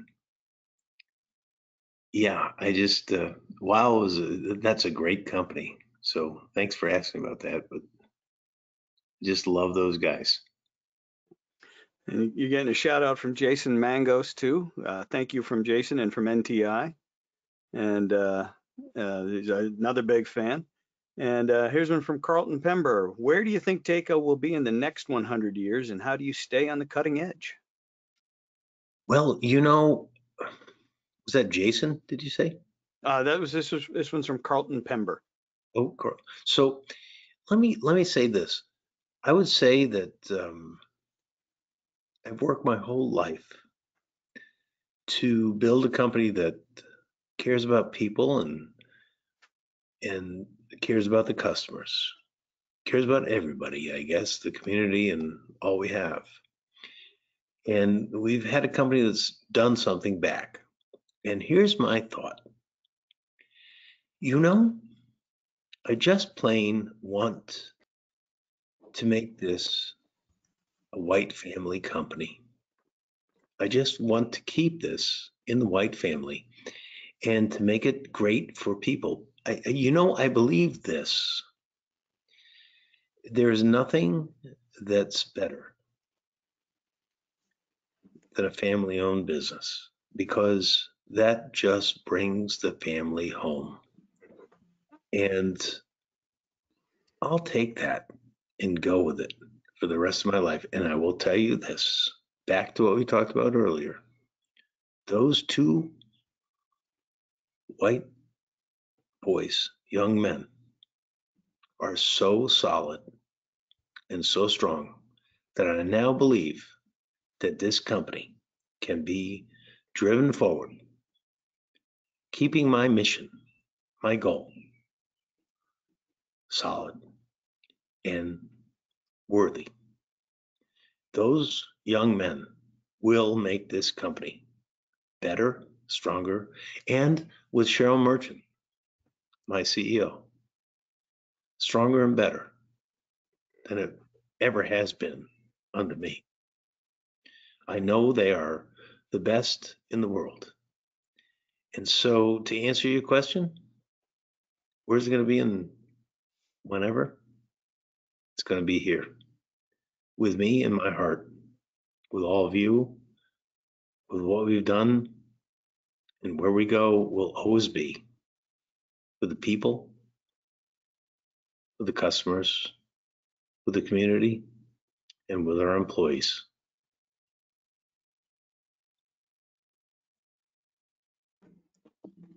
What more can I say? Yeah, not much more needs to be said after that, I'll tell you. Yeah, I, I, uh, as an employee, you know, I, I gotta, and maybe this is, I don't know if this is the right place to say it or not, but I'm going to say it anyway because it's just, it's, it's, it's there is that working for Taco, understand this, people, working for Taco isn't a job, it's, it's, it's an obligation.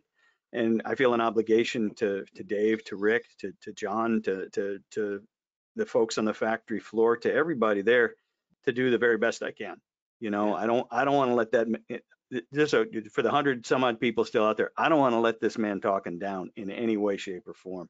You know, you gave me a great opportunity here and it's, uh, um, you know, it's, it was a life changing opportunity.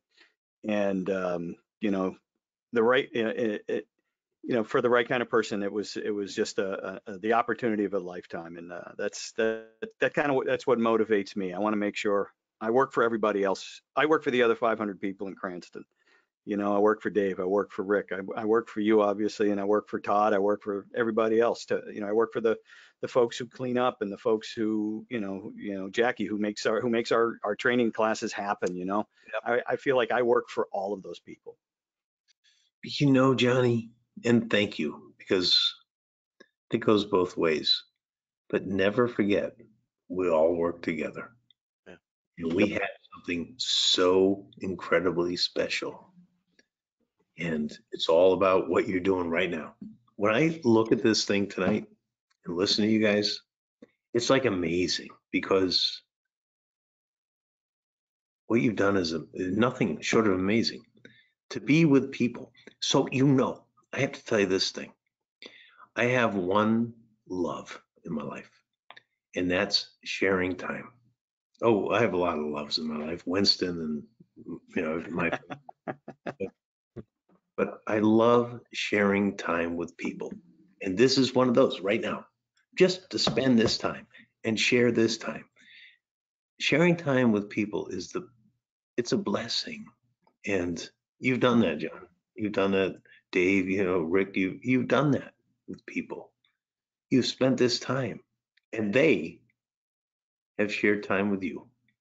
And there's nothing more valuable in this life than to share time with each other. And now, in this awful, this horrible, weird time that we're in, there's no better thing than to do this because we can't do anything else, right? Right. But share this time together. I just, I love it. And I love all of you for spending that time with us because this is just little Taco, not a big guy, but a great place. And thank you for this wonderful chance to share time. That's what I love. I've taken so much time. I'm so sorry, but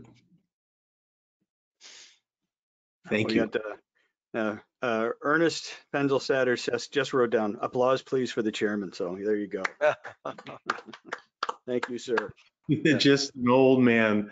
I have to tell you, I do feel so old now because I have this great team, all of you, and then you're going to take on a look at my team. And by the way, guys, I have to tell you all one thing.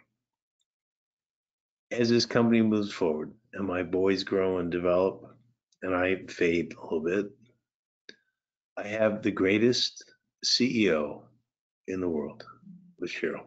She is amazing, and she shall take this company forward. Yeah, good. Beyond me, better than I could ever do. But I'm still here. One heck of a dynamic leader she is as well. Um, It just, Best. she's uh, about as straightforward of a person too. You know, you always know where you stand and you always know where she's coming from. So that's, uh, that is awesome. Yeah, she's a, the perfect Love- person for, love her to pieces, you know, and to the end of the earth. And I'm still here. Very good. Got a couple of more thank yous. One, Jarrett Gluck says, thank you for your time tonight. Uh, Robert O'Brien, thank you from OSP, OESP for all your support uh, of our industry. Robert, Robert is there. Robert is special. I know him and so great to be with you.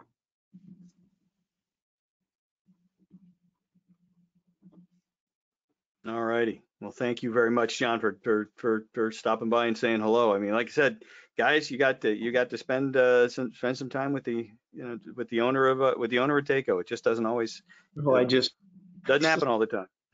Johnny, I love the moment. And thank you for allowing me to uh, unmute myself there and be a little talkative. But wow. There you go. There you go. All right. Yeah, a couple more. Got uh, Bruce Marshall says hello. Uh, Yeah. let's see. With uh, Bruce?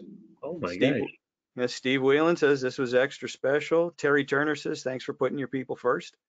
So uh, folks get it. Folks out there get it. They really do. Rich McGrath says thank you.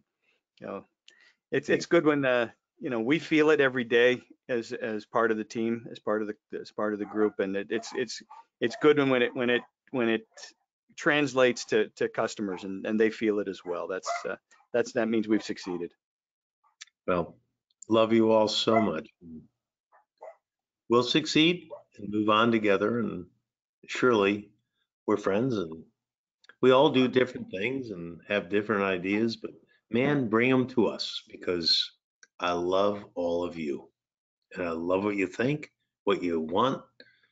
I'm always with that. But let's just go together. Awesome. Very good. All righty. Well, thank you, sir. All right, man. Appreciate it. Thanks, Um, Johnny.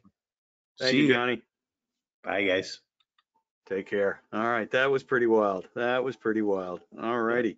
Good. How do we, how do you, what do you do for an act two there?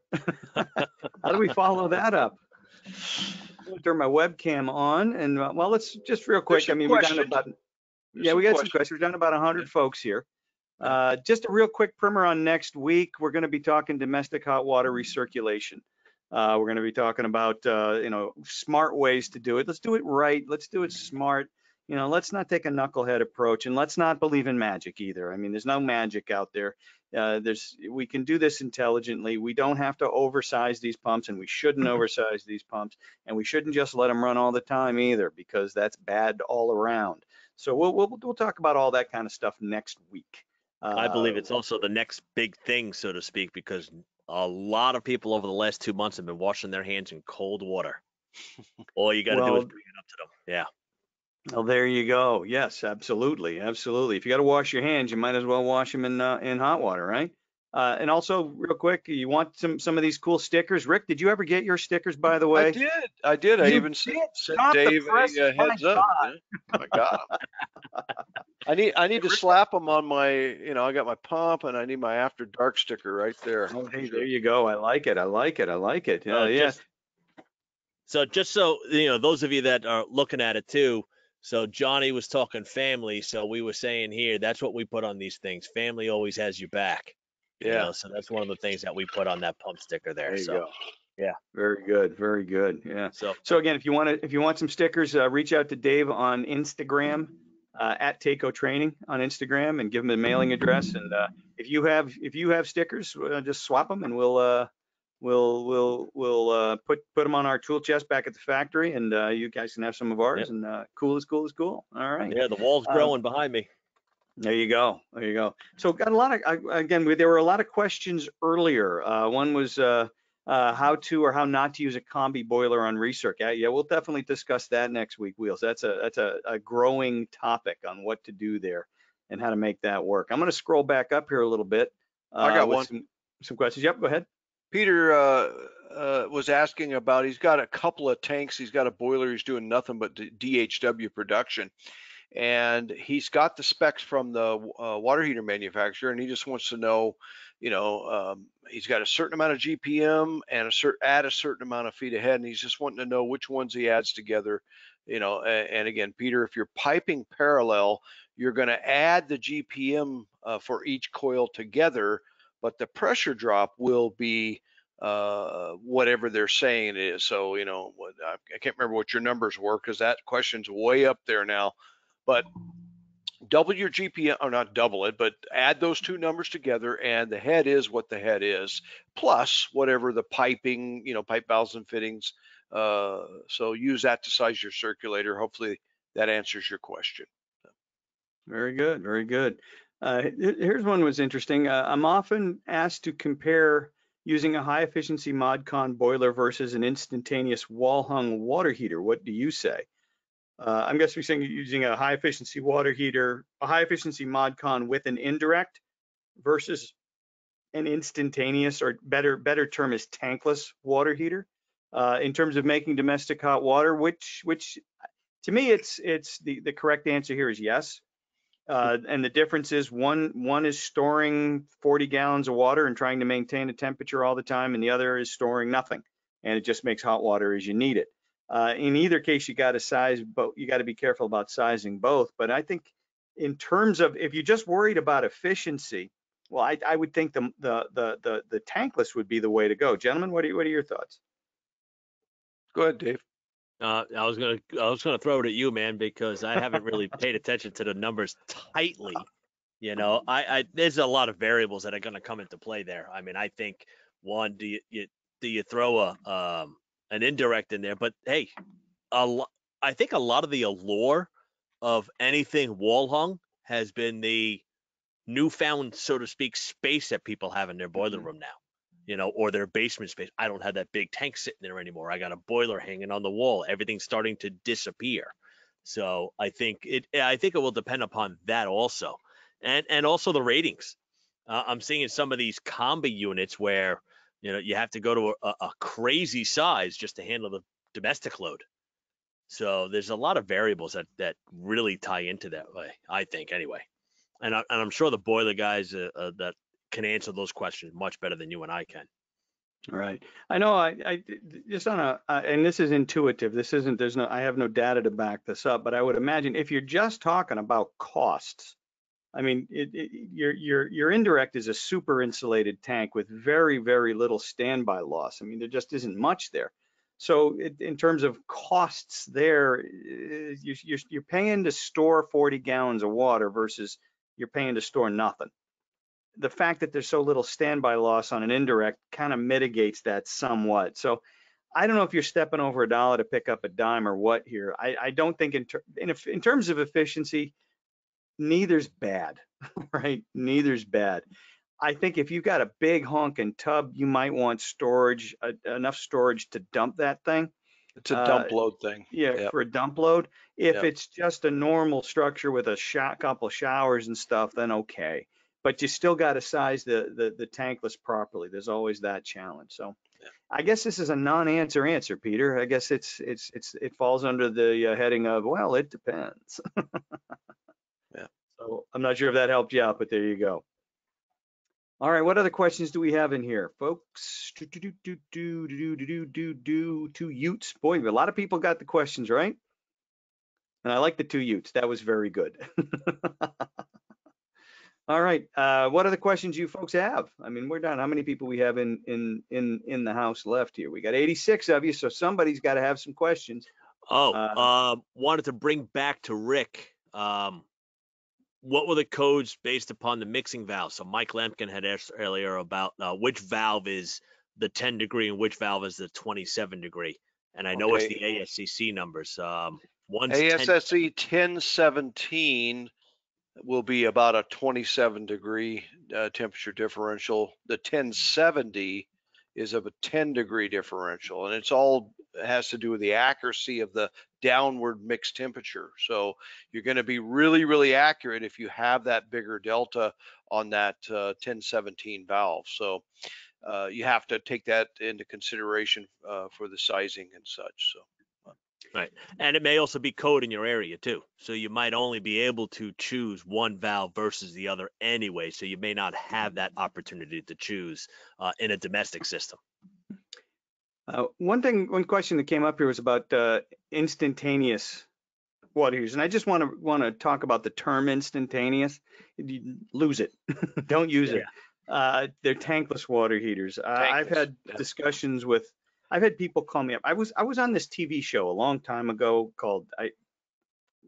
Uh, oh God, I forget the name of the TV show, but we did.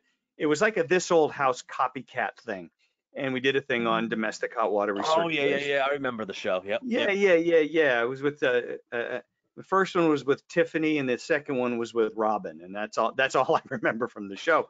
But um, we, uh, uh, I, I, they would call. People would call up the whoever hold had the show, and eventually somebody gave them my phone number. So I'm getting phone calls from people.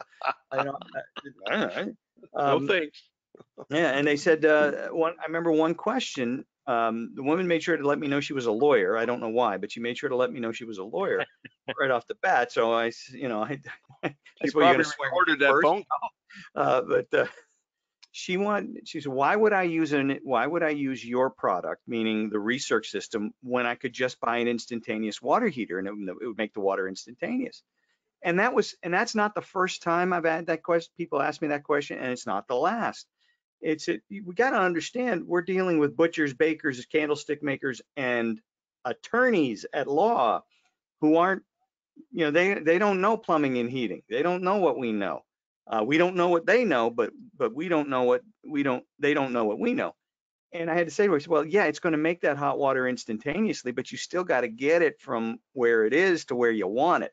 I mean, unless you're going to put that thing in the shower with you, you got to get it. You got to facilitate the journey. It's got to get from point A to point B. That's where we come in. One does not necessarily preclude the other.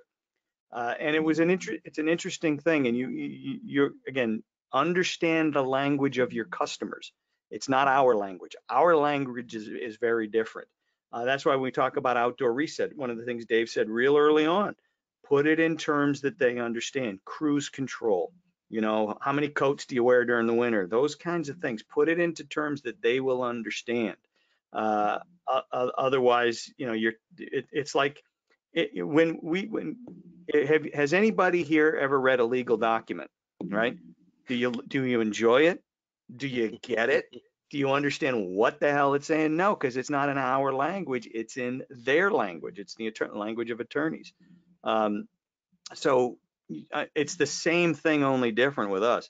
We understand this jargon. We use it every day, but our customers have no idea what the heck we're talking about. So you got to be you got to be able to take two steps back and put our terminology into their language. So you're both so you're not you're not talking in FM and they're listening in AM, so to speak.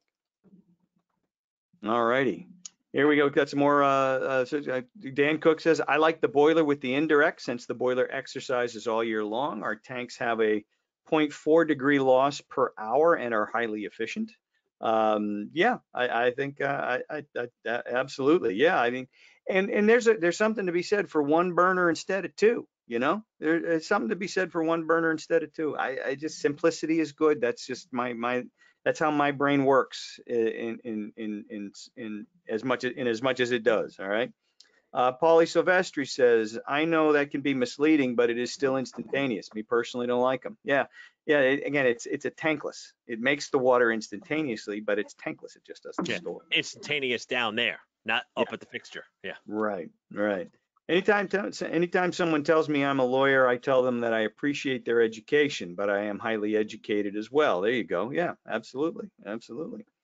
Uh, instantaneous is what the code is what the code is you certify to. So it's stuck as to what it is. endless is what they try to promote, but the side rating plate says instantaneous code. Yeah, again, it's what you call it to them. It's what, how, what term, what words do you use with your customer? And, and I love that. I don't know who said it earlier. It was brilliant. Uh, it was as an ex, uh, the difference between an explanation and an excuse is when you tell it. I think that applies here too, right? I love Yeah. that. Uh, I'm gonna, I'm gonna, uh, pretty Good night, soon, Anthony. it's gonna Yeah. be part of my everyday thing. I'm gonna steal that. I just want whoever put it down to know that I'm gonna steal it. But, but if it helps you feel any better, you're not the only person I've stolen stuff from. I'll, You're I'll dig looking out at, who you're it. looking at two others right up there. All righty. Semi, I like the semi-instantaneous with the tank. It gives me some storage and it's a modulating burner. Well, there you go. That works too. That works too. Oh, hey, we got a real question here from Jim's house. Mr. JJ, how you doing? How you doing? Instant, oh, oh no, but, but, but, but, oh, you know what? I'm sorry. I, it wasn't you, JJ. It was Carlton Pember. I'm sorry. On the four-way mixing valve, can it be used with chilled water and glycol? It can be used with glycol for a heating system.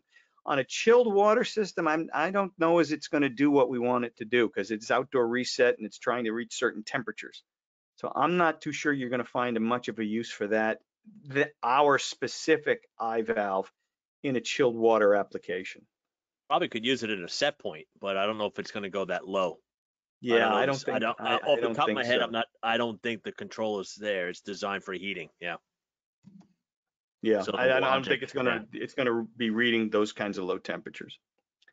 Looking for an apples to apples performance GPM comparison. Uh, Peter, give me some, give me some more on that. I'm not quite sure what you're, what, uh, what the apple, what, what, what two apples are you, what apples are you comparing to what apples, I guess? Uh, maybe I miss, I'm, I'm, I, I feel like I've missed something in the, missed something here. Maybe, maybe you guys caught it. I, I, I- He's, I- if you look up, he's probably talking about um, tankless applications Oh, uh, okay, go. compared to um, uh, tank style.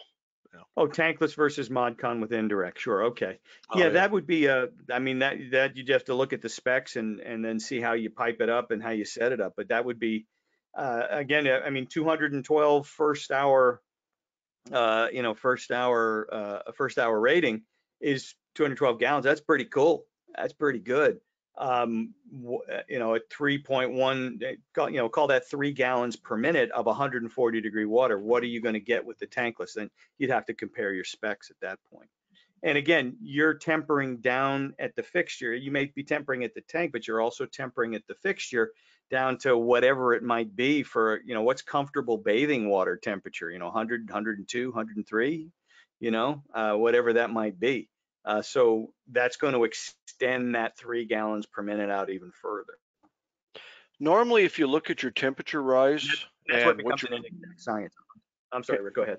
Can you hear me? Um, if you look at your temperature rise and you look at your dump load, so how many gallons a minute do you need and you need it now? Normally, if you do that comparative, a tank style will always win over that uh, uh, argument when it comes to the dollars it takes to hang two or three or four tankless style units on a wall, not to mention the venting, the gas piping, and everything else that has to suit those four units at 199,000 BTUs. So anyway, um, again, look at what your dump load is and uh, do the comparison on your own. Typically, uh, 119 gallon tank uh, does a whole lot, especially when you do like what we talked about today and we store it high and we mix it back down. We can give you a whole lot of water really fast. And um, in order to get that same type of performance with units that have no storage, it takes a whole lot of BTUs. So you always have, that's part of the equation. You got to look at your venting, you got to look at your gas piping, et cetera. So uh, again, uh, I remember when I first put together that indirect uh, presentation, um, you guys don't remember the old purchasing manager at Wirsbo. He predated both of you guys there. Uh, he was building a house. This is 1995, my first year there, and he was building a house. And as a purchasing manager, one of the things he got to do was to collect a lot of favors from people. So he got free stuff for when he was building his house. He was leveraging this like crazy. Um, he, he kind of corralled me because, you know, I'm kind of dumb and didn't think to close my office door. He corralled me into helping him design the, his heating system. And uh, as it turns out, he, he was showing me, you know, the, he wanted me to, want us to, to, to- design a radiant heating system for him. And he- I was looking at the master bathroom and he, there was this humongous two-person tub in the master bathroom. And Rick's was one of these guys who married way out of his league. I mean, I don't know what legal issues she had, but she married Rick, who was kind of like us, but she was like Gisele Bündchen gorgeous. I no, nobody could understand this whole thing, this whole arrangement. And I asked him, well, what, what's the tub for? And he looked at me and went, you know what the tub's for? You know what the tub's for? I said, oh, cool. All right. Well, well, how, what, do, what are we, what are we looking at for a water heater? And he goes, you're not going to believe it, but the gas company gave me for free a 40 gallon water heater. And I'm thinking, well, great. What are you going to do with it? Because you, if you use that, you're gonna, you're not going to bother. Don't bother with the tub. And he didn't understand that, you know, this thing wasn't going to fill that thing. He had an issue of storage and an issue of recovery. And he just thought I wanted him to pay to buy something expensive. And then he started to make a deal with me. He says, look, well, what if I don't use the tub very often? Like he's going to make a deal with the water heater guy. You're going to, you know, 40 gallon water heater, you're going to cruise for 28 days a month. But 20, on the 29th day, man, I want you to give me all you got and then some. He didn't, he didn't know the math. It just wasn't going to work. Uh, so from, that was kind of where that, that presentation we just did was born. So we gave him the opportunity to, you know, to, to use the tub. He just needed a, like Rick said, 119 gallon storage tank. He needed that, you need that dump, right? Here's a question from Mike Westgard. Sorry for all the green guy questions. A question on circulators. Do circs completely stop flow if they are not active? I ask because we have a, an HP home that is using hydronic heating, cooling, and dehumidification to the dehumidification unit. Do we need to install a zone valve? Um, boy, uh, let me, I'm gonna, I- I'm going to send him an answer right now. okay, and and just say that if you pipe it right and you put the uh, the check valve in there properly, uh, you don't need to add a zone valve. It's kind of like uh, John's always referred to as belt and suspenders. mhm, one Right. one will do the job if it's done right. Okay, you don't always need two of them. So hopefully that answers your question. But it all comes down to how it's piped. Uh, that's when we start talking about circulators being hydraulically isolated from other circulators in the system, so we don't get ghost flow and migration and things like that. So anyway, hopefully that answers your question. Again, a picture's worth a thousand words. So uh, draw you go. something up and we can comment on it accordingly.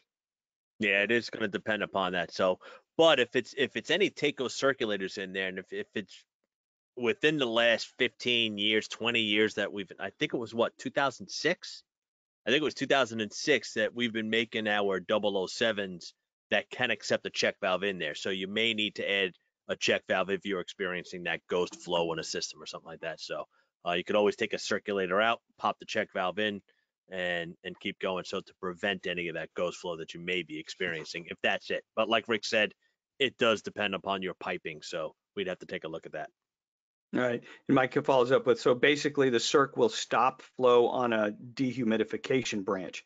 Uh, It's just gonna stop, it, it, the circulator itself isn't gonna stop flow. A check valve is gonna prevent other circulators from flowing through a, flowing through a branch where, where we don't need it. So, Right. very good. When we right, say it. when I, when I say ghost flow, uh, what that also means is hot water rises, and you could actually have in a pipe, in a vertical pipe, two different flows happening at the same time. Circulators off, you'll have hot water going up and hot and cold water coming down.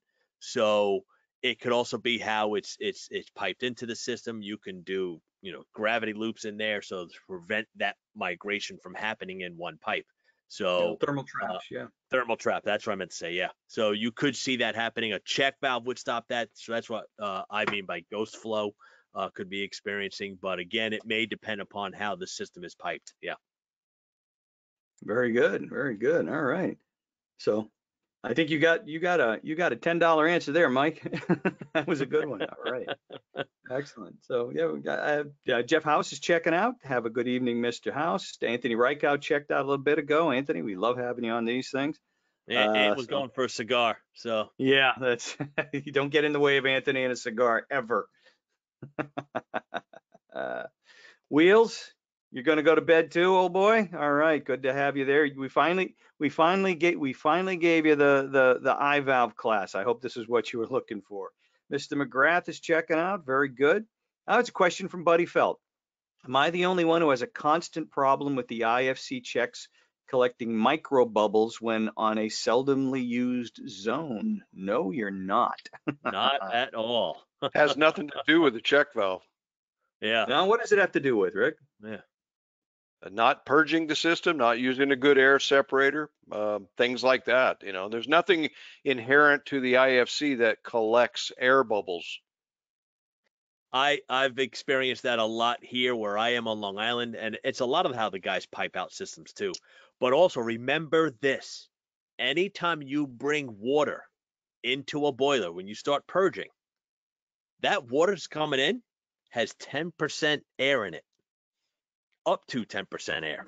So you could be purging out all the big air bubbles, and there's still going to be little air bubbles still in that water itself. The only true way to, the best way to get the air out is you got to let that boiler run for at least four hours and get it up to temperature.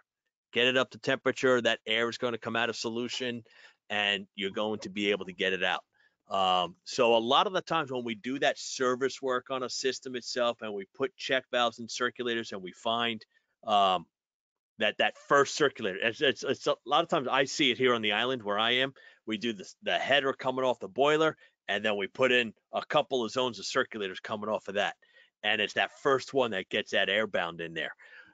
I actually experimented with a couple of contractors here on the island that seem to experience it continuously.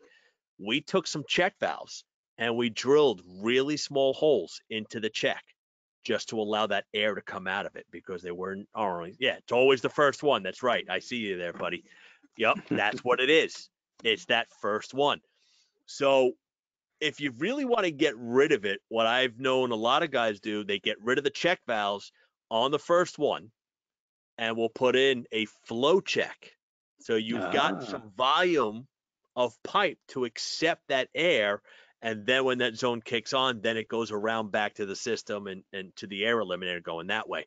Or go IF, uh, go with the uh, the ECM that has the the air feature that we have built into it to get the air out of the circulator. So 007Es, 15Es, 18Es has that air elimination system uh, built in.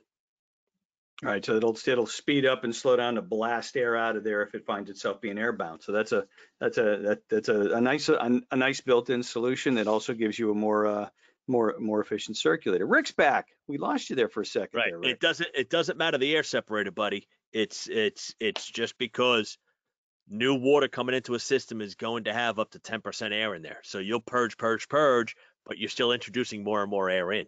So gotta always remember that too. So yes.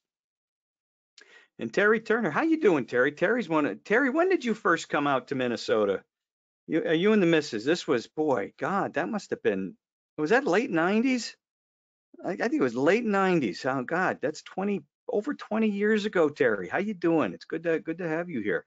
Uh, depending upon water chemistry of the application, tankless water heaters may require more maintenance, i.e. heat exchanger cleaning, than a system with a boiler and an indirect.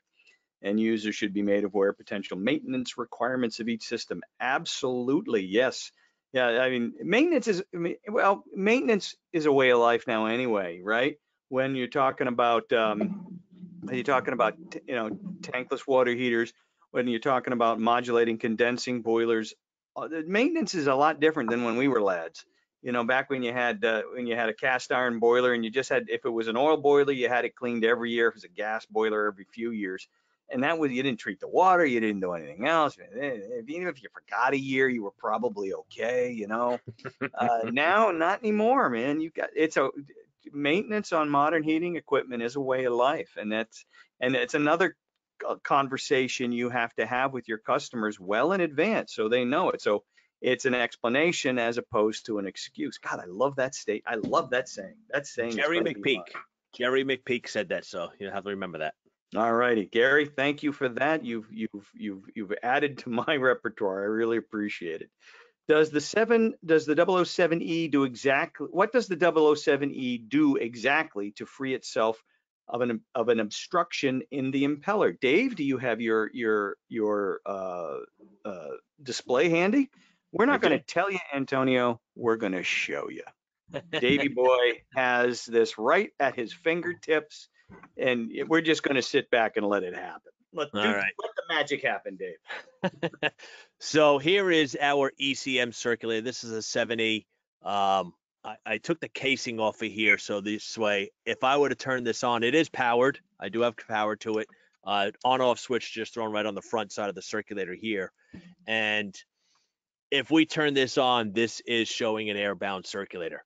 What it's going to do is since there's no resistance on the impeller when it starts turning, and it is going to quickly slow down and speed back up again, just like taking a ball valve. Any valve that you find that you have close to a circulator, if you know you've got an air bubble in the system, we sit there and try and jam it really quick. We try to change the pressure differential in the system to jar that air bubble out and send it back to the air bubble. So when I turn this circulator on, I'm powering it up, it's running.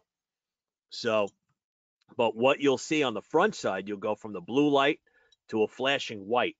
And what that says is, hey, I don't feel a resistance on the impeller, and it does a quick drop in speed. And I can feel this in my hands as it's running. I can feel that quick change in speed just to jar the air bubble out of the impeller or out of the volute and send it back into the system itself. And hopefully the air uh, air eliminator gets it out of there.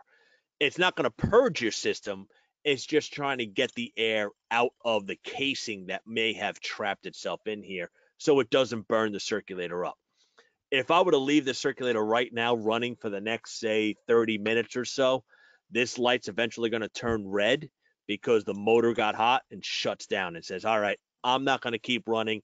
You need to come back here, purge, so this way I don't burn out. So we don't want to burn the circulator out. It's just so if, if you find that red light, it just means it got a little hot. We're going to save ourselves so we don't burn out. All you have to do is reset the circulator, turn the power off, turn it back on, and you're done. So, but that's an automatic air purge. So, buddy, that may help you on a lot of times too. Is, Now, is what- working now- on those ECMs. Now, what about uh, the the uh, SureStart? Let's see the So Sure the- Start. Yeah, the second half of SureStart is, hey, we're just entering the summer now. So we're going to have a lot of circulators sitting off all summer long, not turning. And the the the um, the tolerances between an impeller and your casing really tight. Cast iron circulators, little bit of rust if we're not treating that water, could get this impeller to seize up and not turn. So and you guys have experienced seized up circulators out there, and I know what you guys do out there. If you get the phone call in September that we're not getting heat, you walk down to the boiler room, you feel that circulator, it's screaming hot. The green paint starting to turn a little brown from overheating a little bit. What's the next thing you do?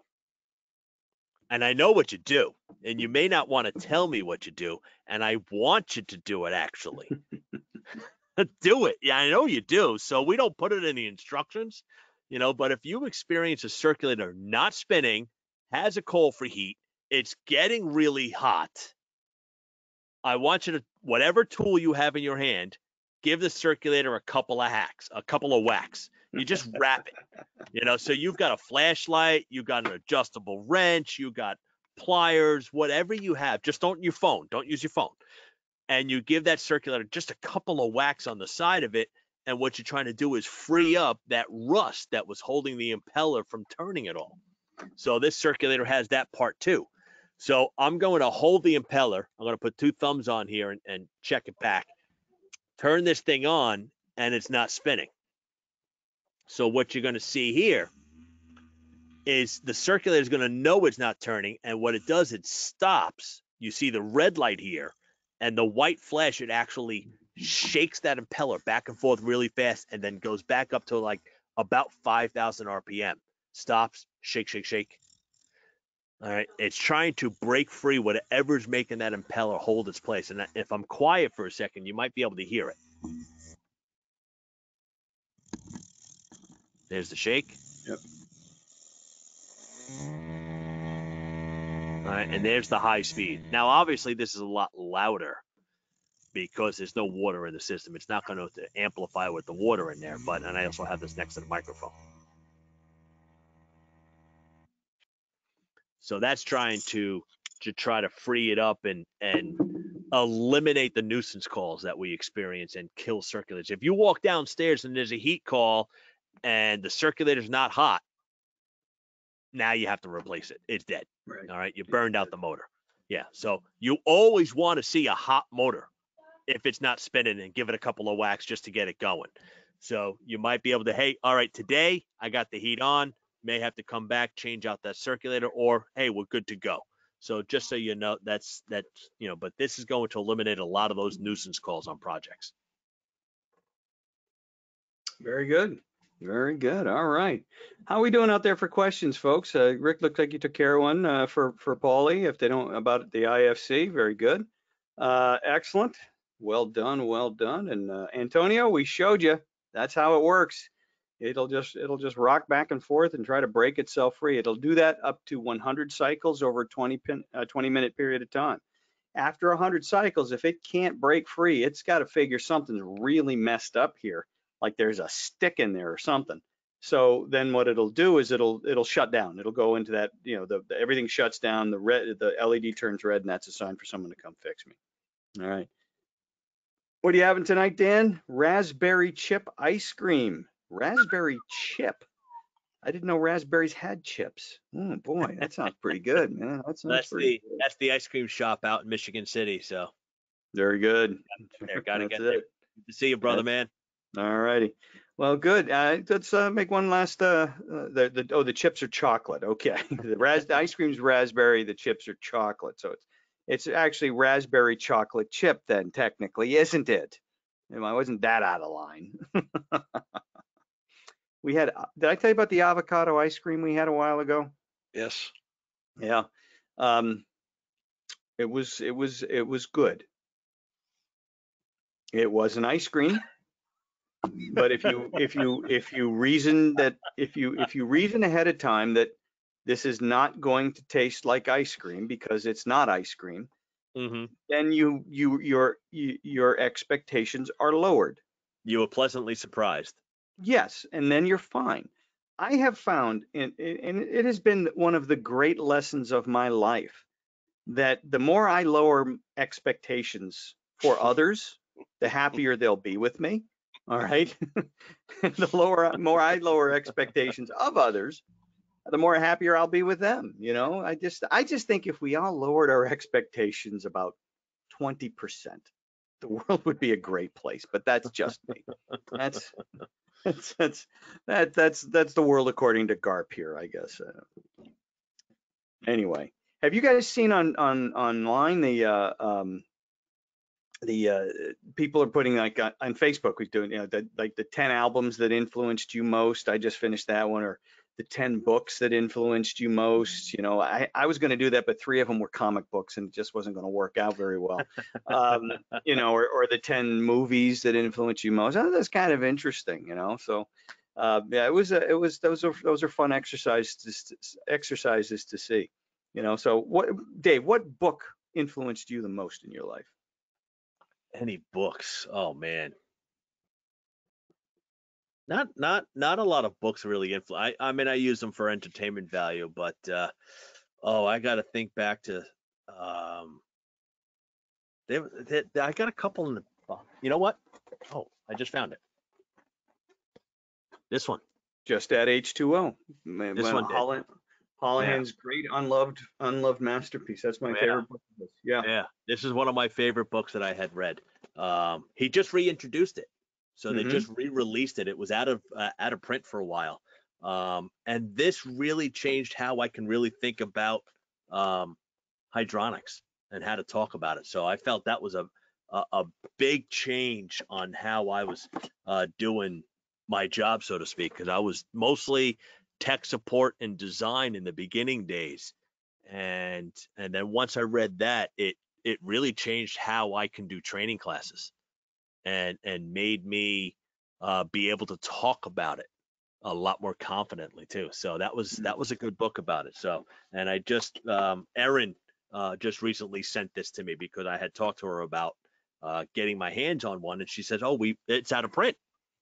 So when she put it back into print, I, I actually reviewed a PDF version of it for her, and she was kind of afraid it was going to be outdated, and uh, you know a lot of things didn't apply anymore because she that Dan was talking about um, fax machines and telex Right. machines and things like that, and I said it still applies.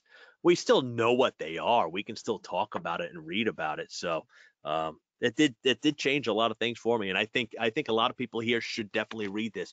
Yeah, pumping away, great book. Primary secondary piping, you know, another good book to read. So, but this one I think really helps us explain and talk to it with our homeowners and, Very in good. what we do on a regular basis. Yeah. Rick, how about you?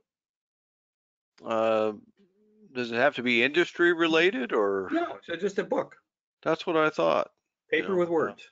Happy hooker. Um, so let's get to the questions, eh? Okay. How will air in the system react? The ECM circulator books. I have seen with other water cooled circulators them seize up. Uh, I think, uh, David, uh, is it Henniger? I, I believe so. Uh, the air in the system, the circulator is going to, you know, first off, let's let's go back to the basics. You have to purge the system. Purging the system does not mean filling the system with water.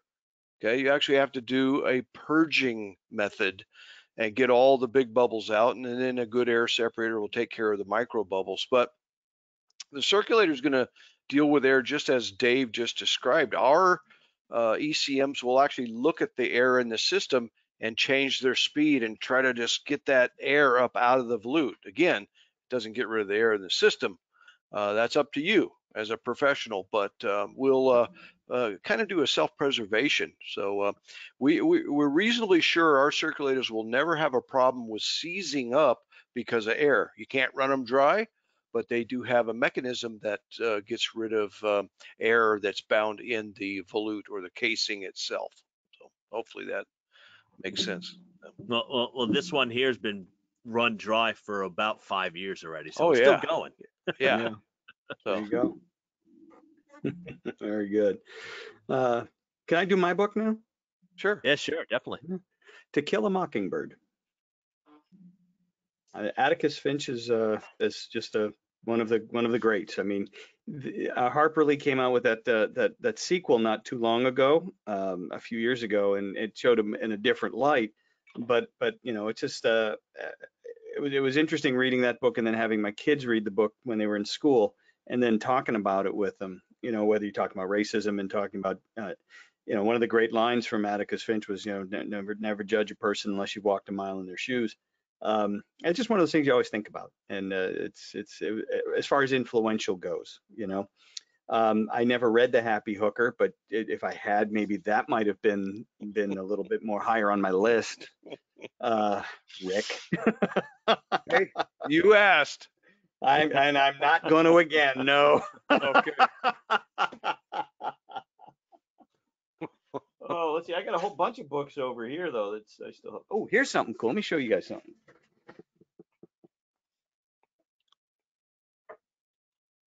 Uh-oh. Let's see here. These came from my uncle Mike, who was my godfather, uh, and was a great plumber. He worked with my dad for a long, worked for my dad for a long, long time. But he had these, and he, he gave them to me.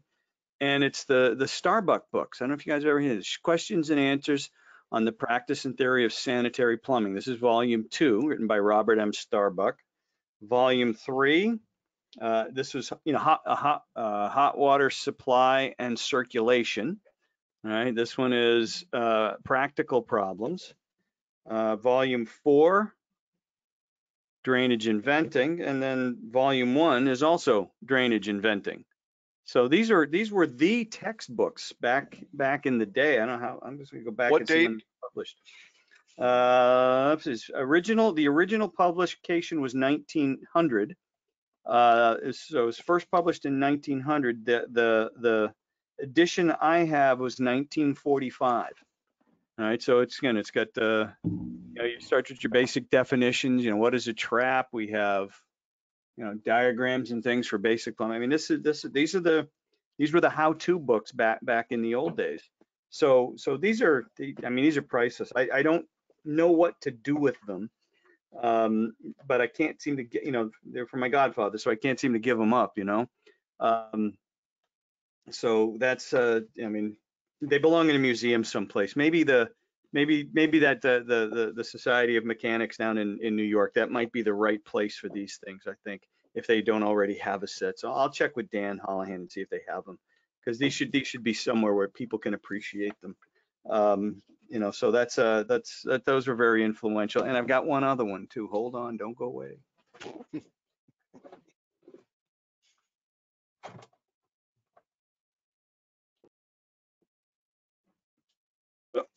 Here he comes. This goes back to the 40s as well. This is the original B and G uh, hydronics design handbook. Where you get into your your the, the the real basics of of hydronic heating systems and design. And in this book, they start they talk a little bit about pumping away. And in this book, actually going back to the 1942 version, which I also have kicking around here, they talk about outdoor reset. Hmm. They call it outdoor weather compensation, and it was done with you know uh, capillary tubes. Uh, Capillary. uh, uh, yeah, capillary. Thank you. No, I'm just tomato, tomato. I'm just tomato, you- you know tomato. right. Yeah. You go, go, go read a book. All right. Yeah. Are you sure? no, no, no, God, no. but um, you know, they, but it goes it goes back that far, and people, oh, this is a new, nothing's new, man. It's just re, it's reimagined, it's repackaged, it's re-engineered. You know, I mean, people knew way back when that that you know, hey, if we we change the water temperature based on how cold it is outside, the system will work better and it'll be more efficient. Oh no, right?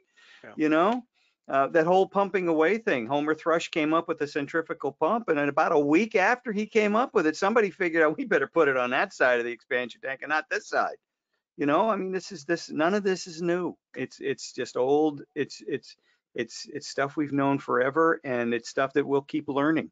And Right. um, you know, it's it's it's not like everybody knows this, so we have to stop teaching it. It's you're teaching a parade. New folks come along and need to know. You know, And- and, and- uh, Uh, and I find one thing with hydronics, you have to try hard.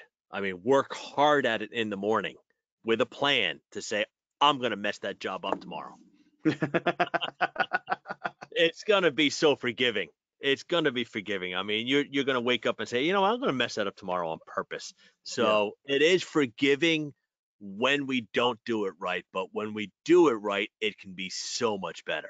That's Yeah. the that's the thing about it too is is how it can feel and how I mean I've lived in bad hydronics, I've lived in hot air systems, and I've lived with good hydronics. And uh, and I remember, and I don't know if he's still here, buddy of mine here, uh, Leroy, uh, Leroy Squires. He works with uh, NHH now down in uh, in the Baltimore area, and we were sitting at the bar one night. Um, I think I was about four Manhattans in, and uh, he's, he, we're sitting there and he says, I've been to so many training classes with you, Dave.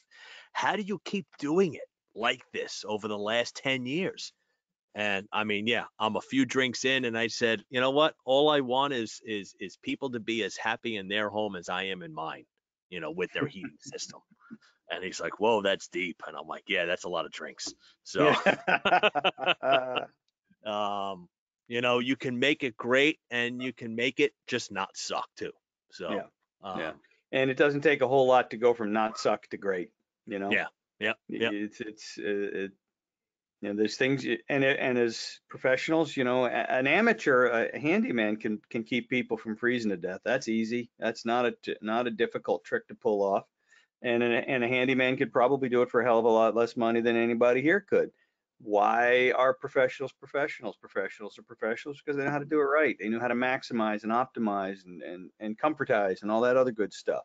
It's a it's a lot different from keeping people from freezing to death and and that's what I I believe everyone should aspire to. All right. Well, hey, we're down to about 39 people, so it might be time to say good night to everybody. Um, We got to watch Seinfeld's 23 Hours. Hmm.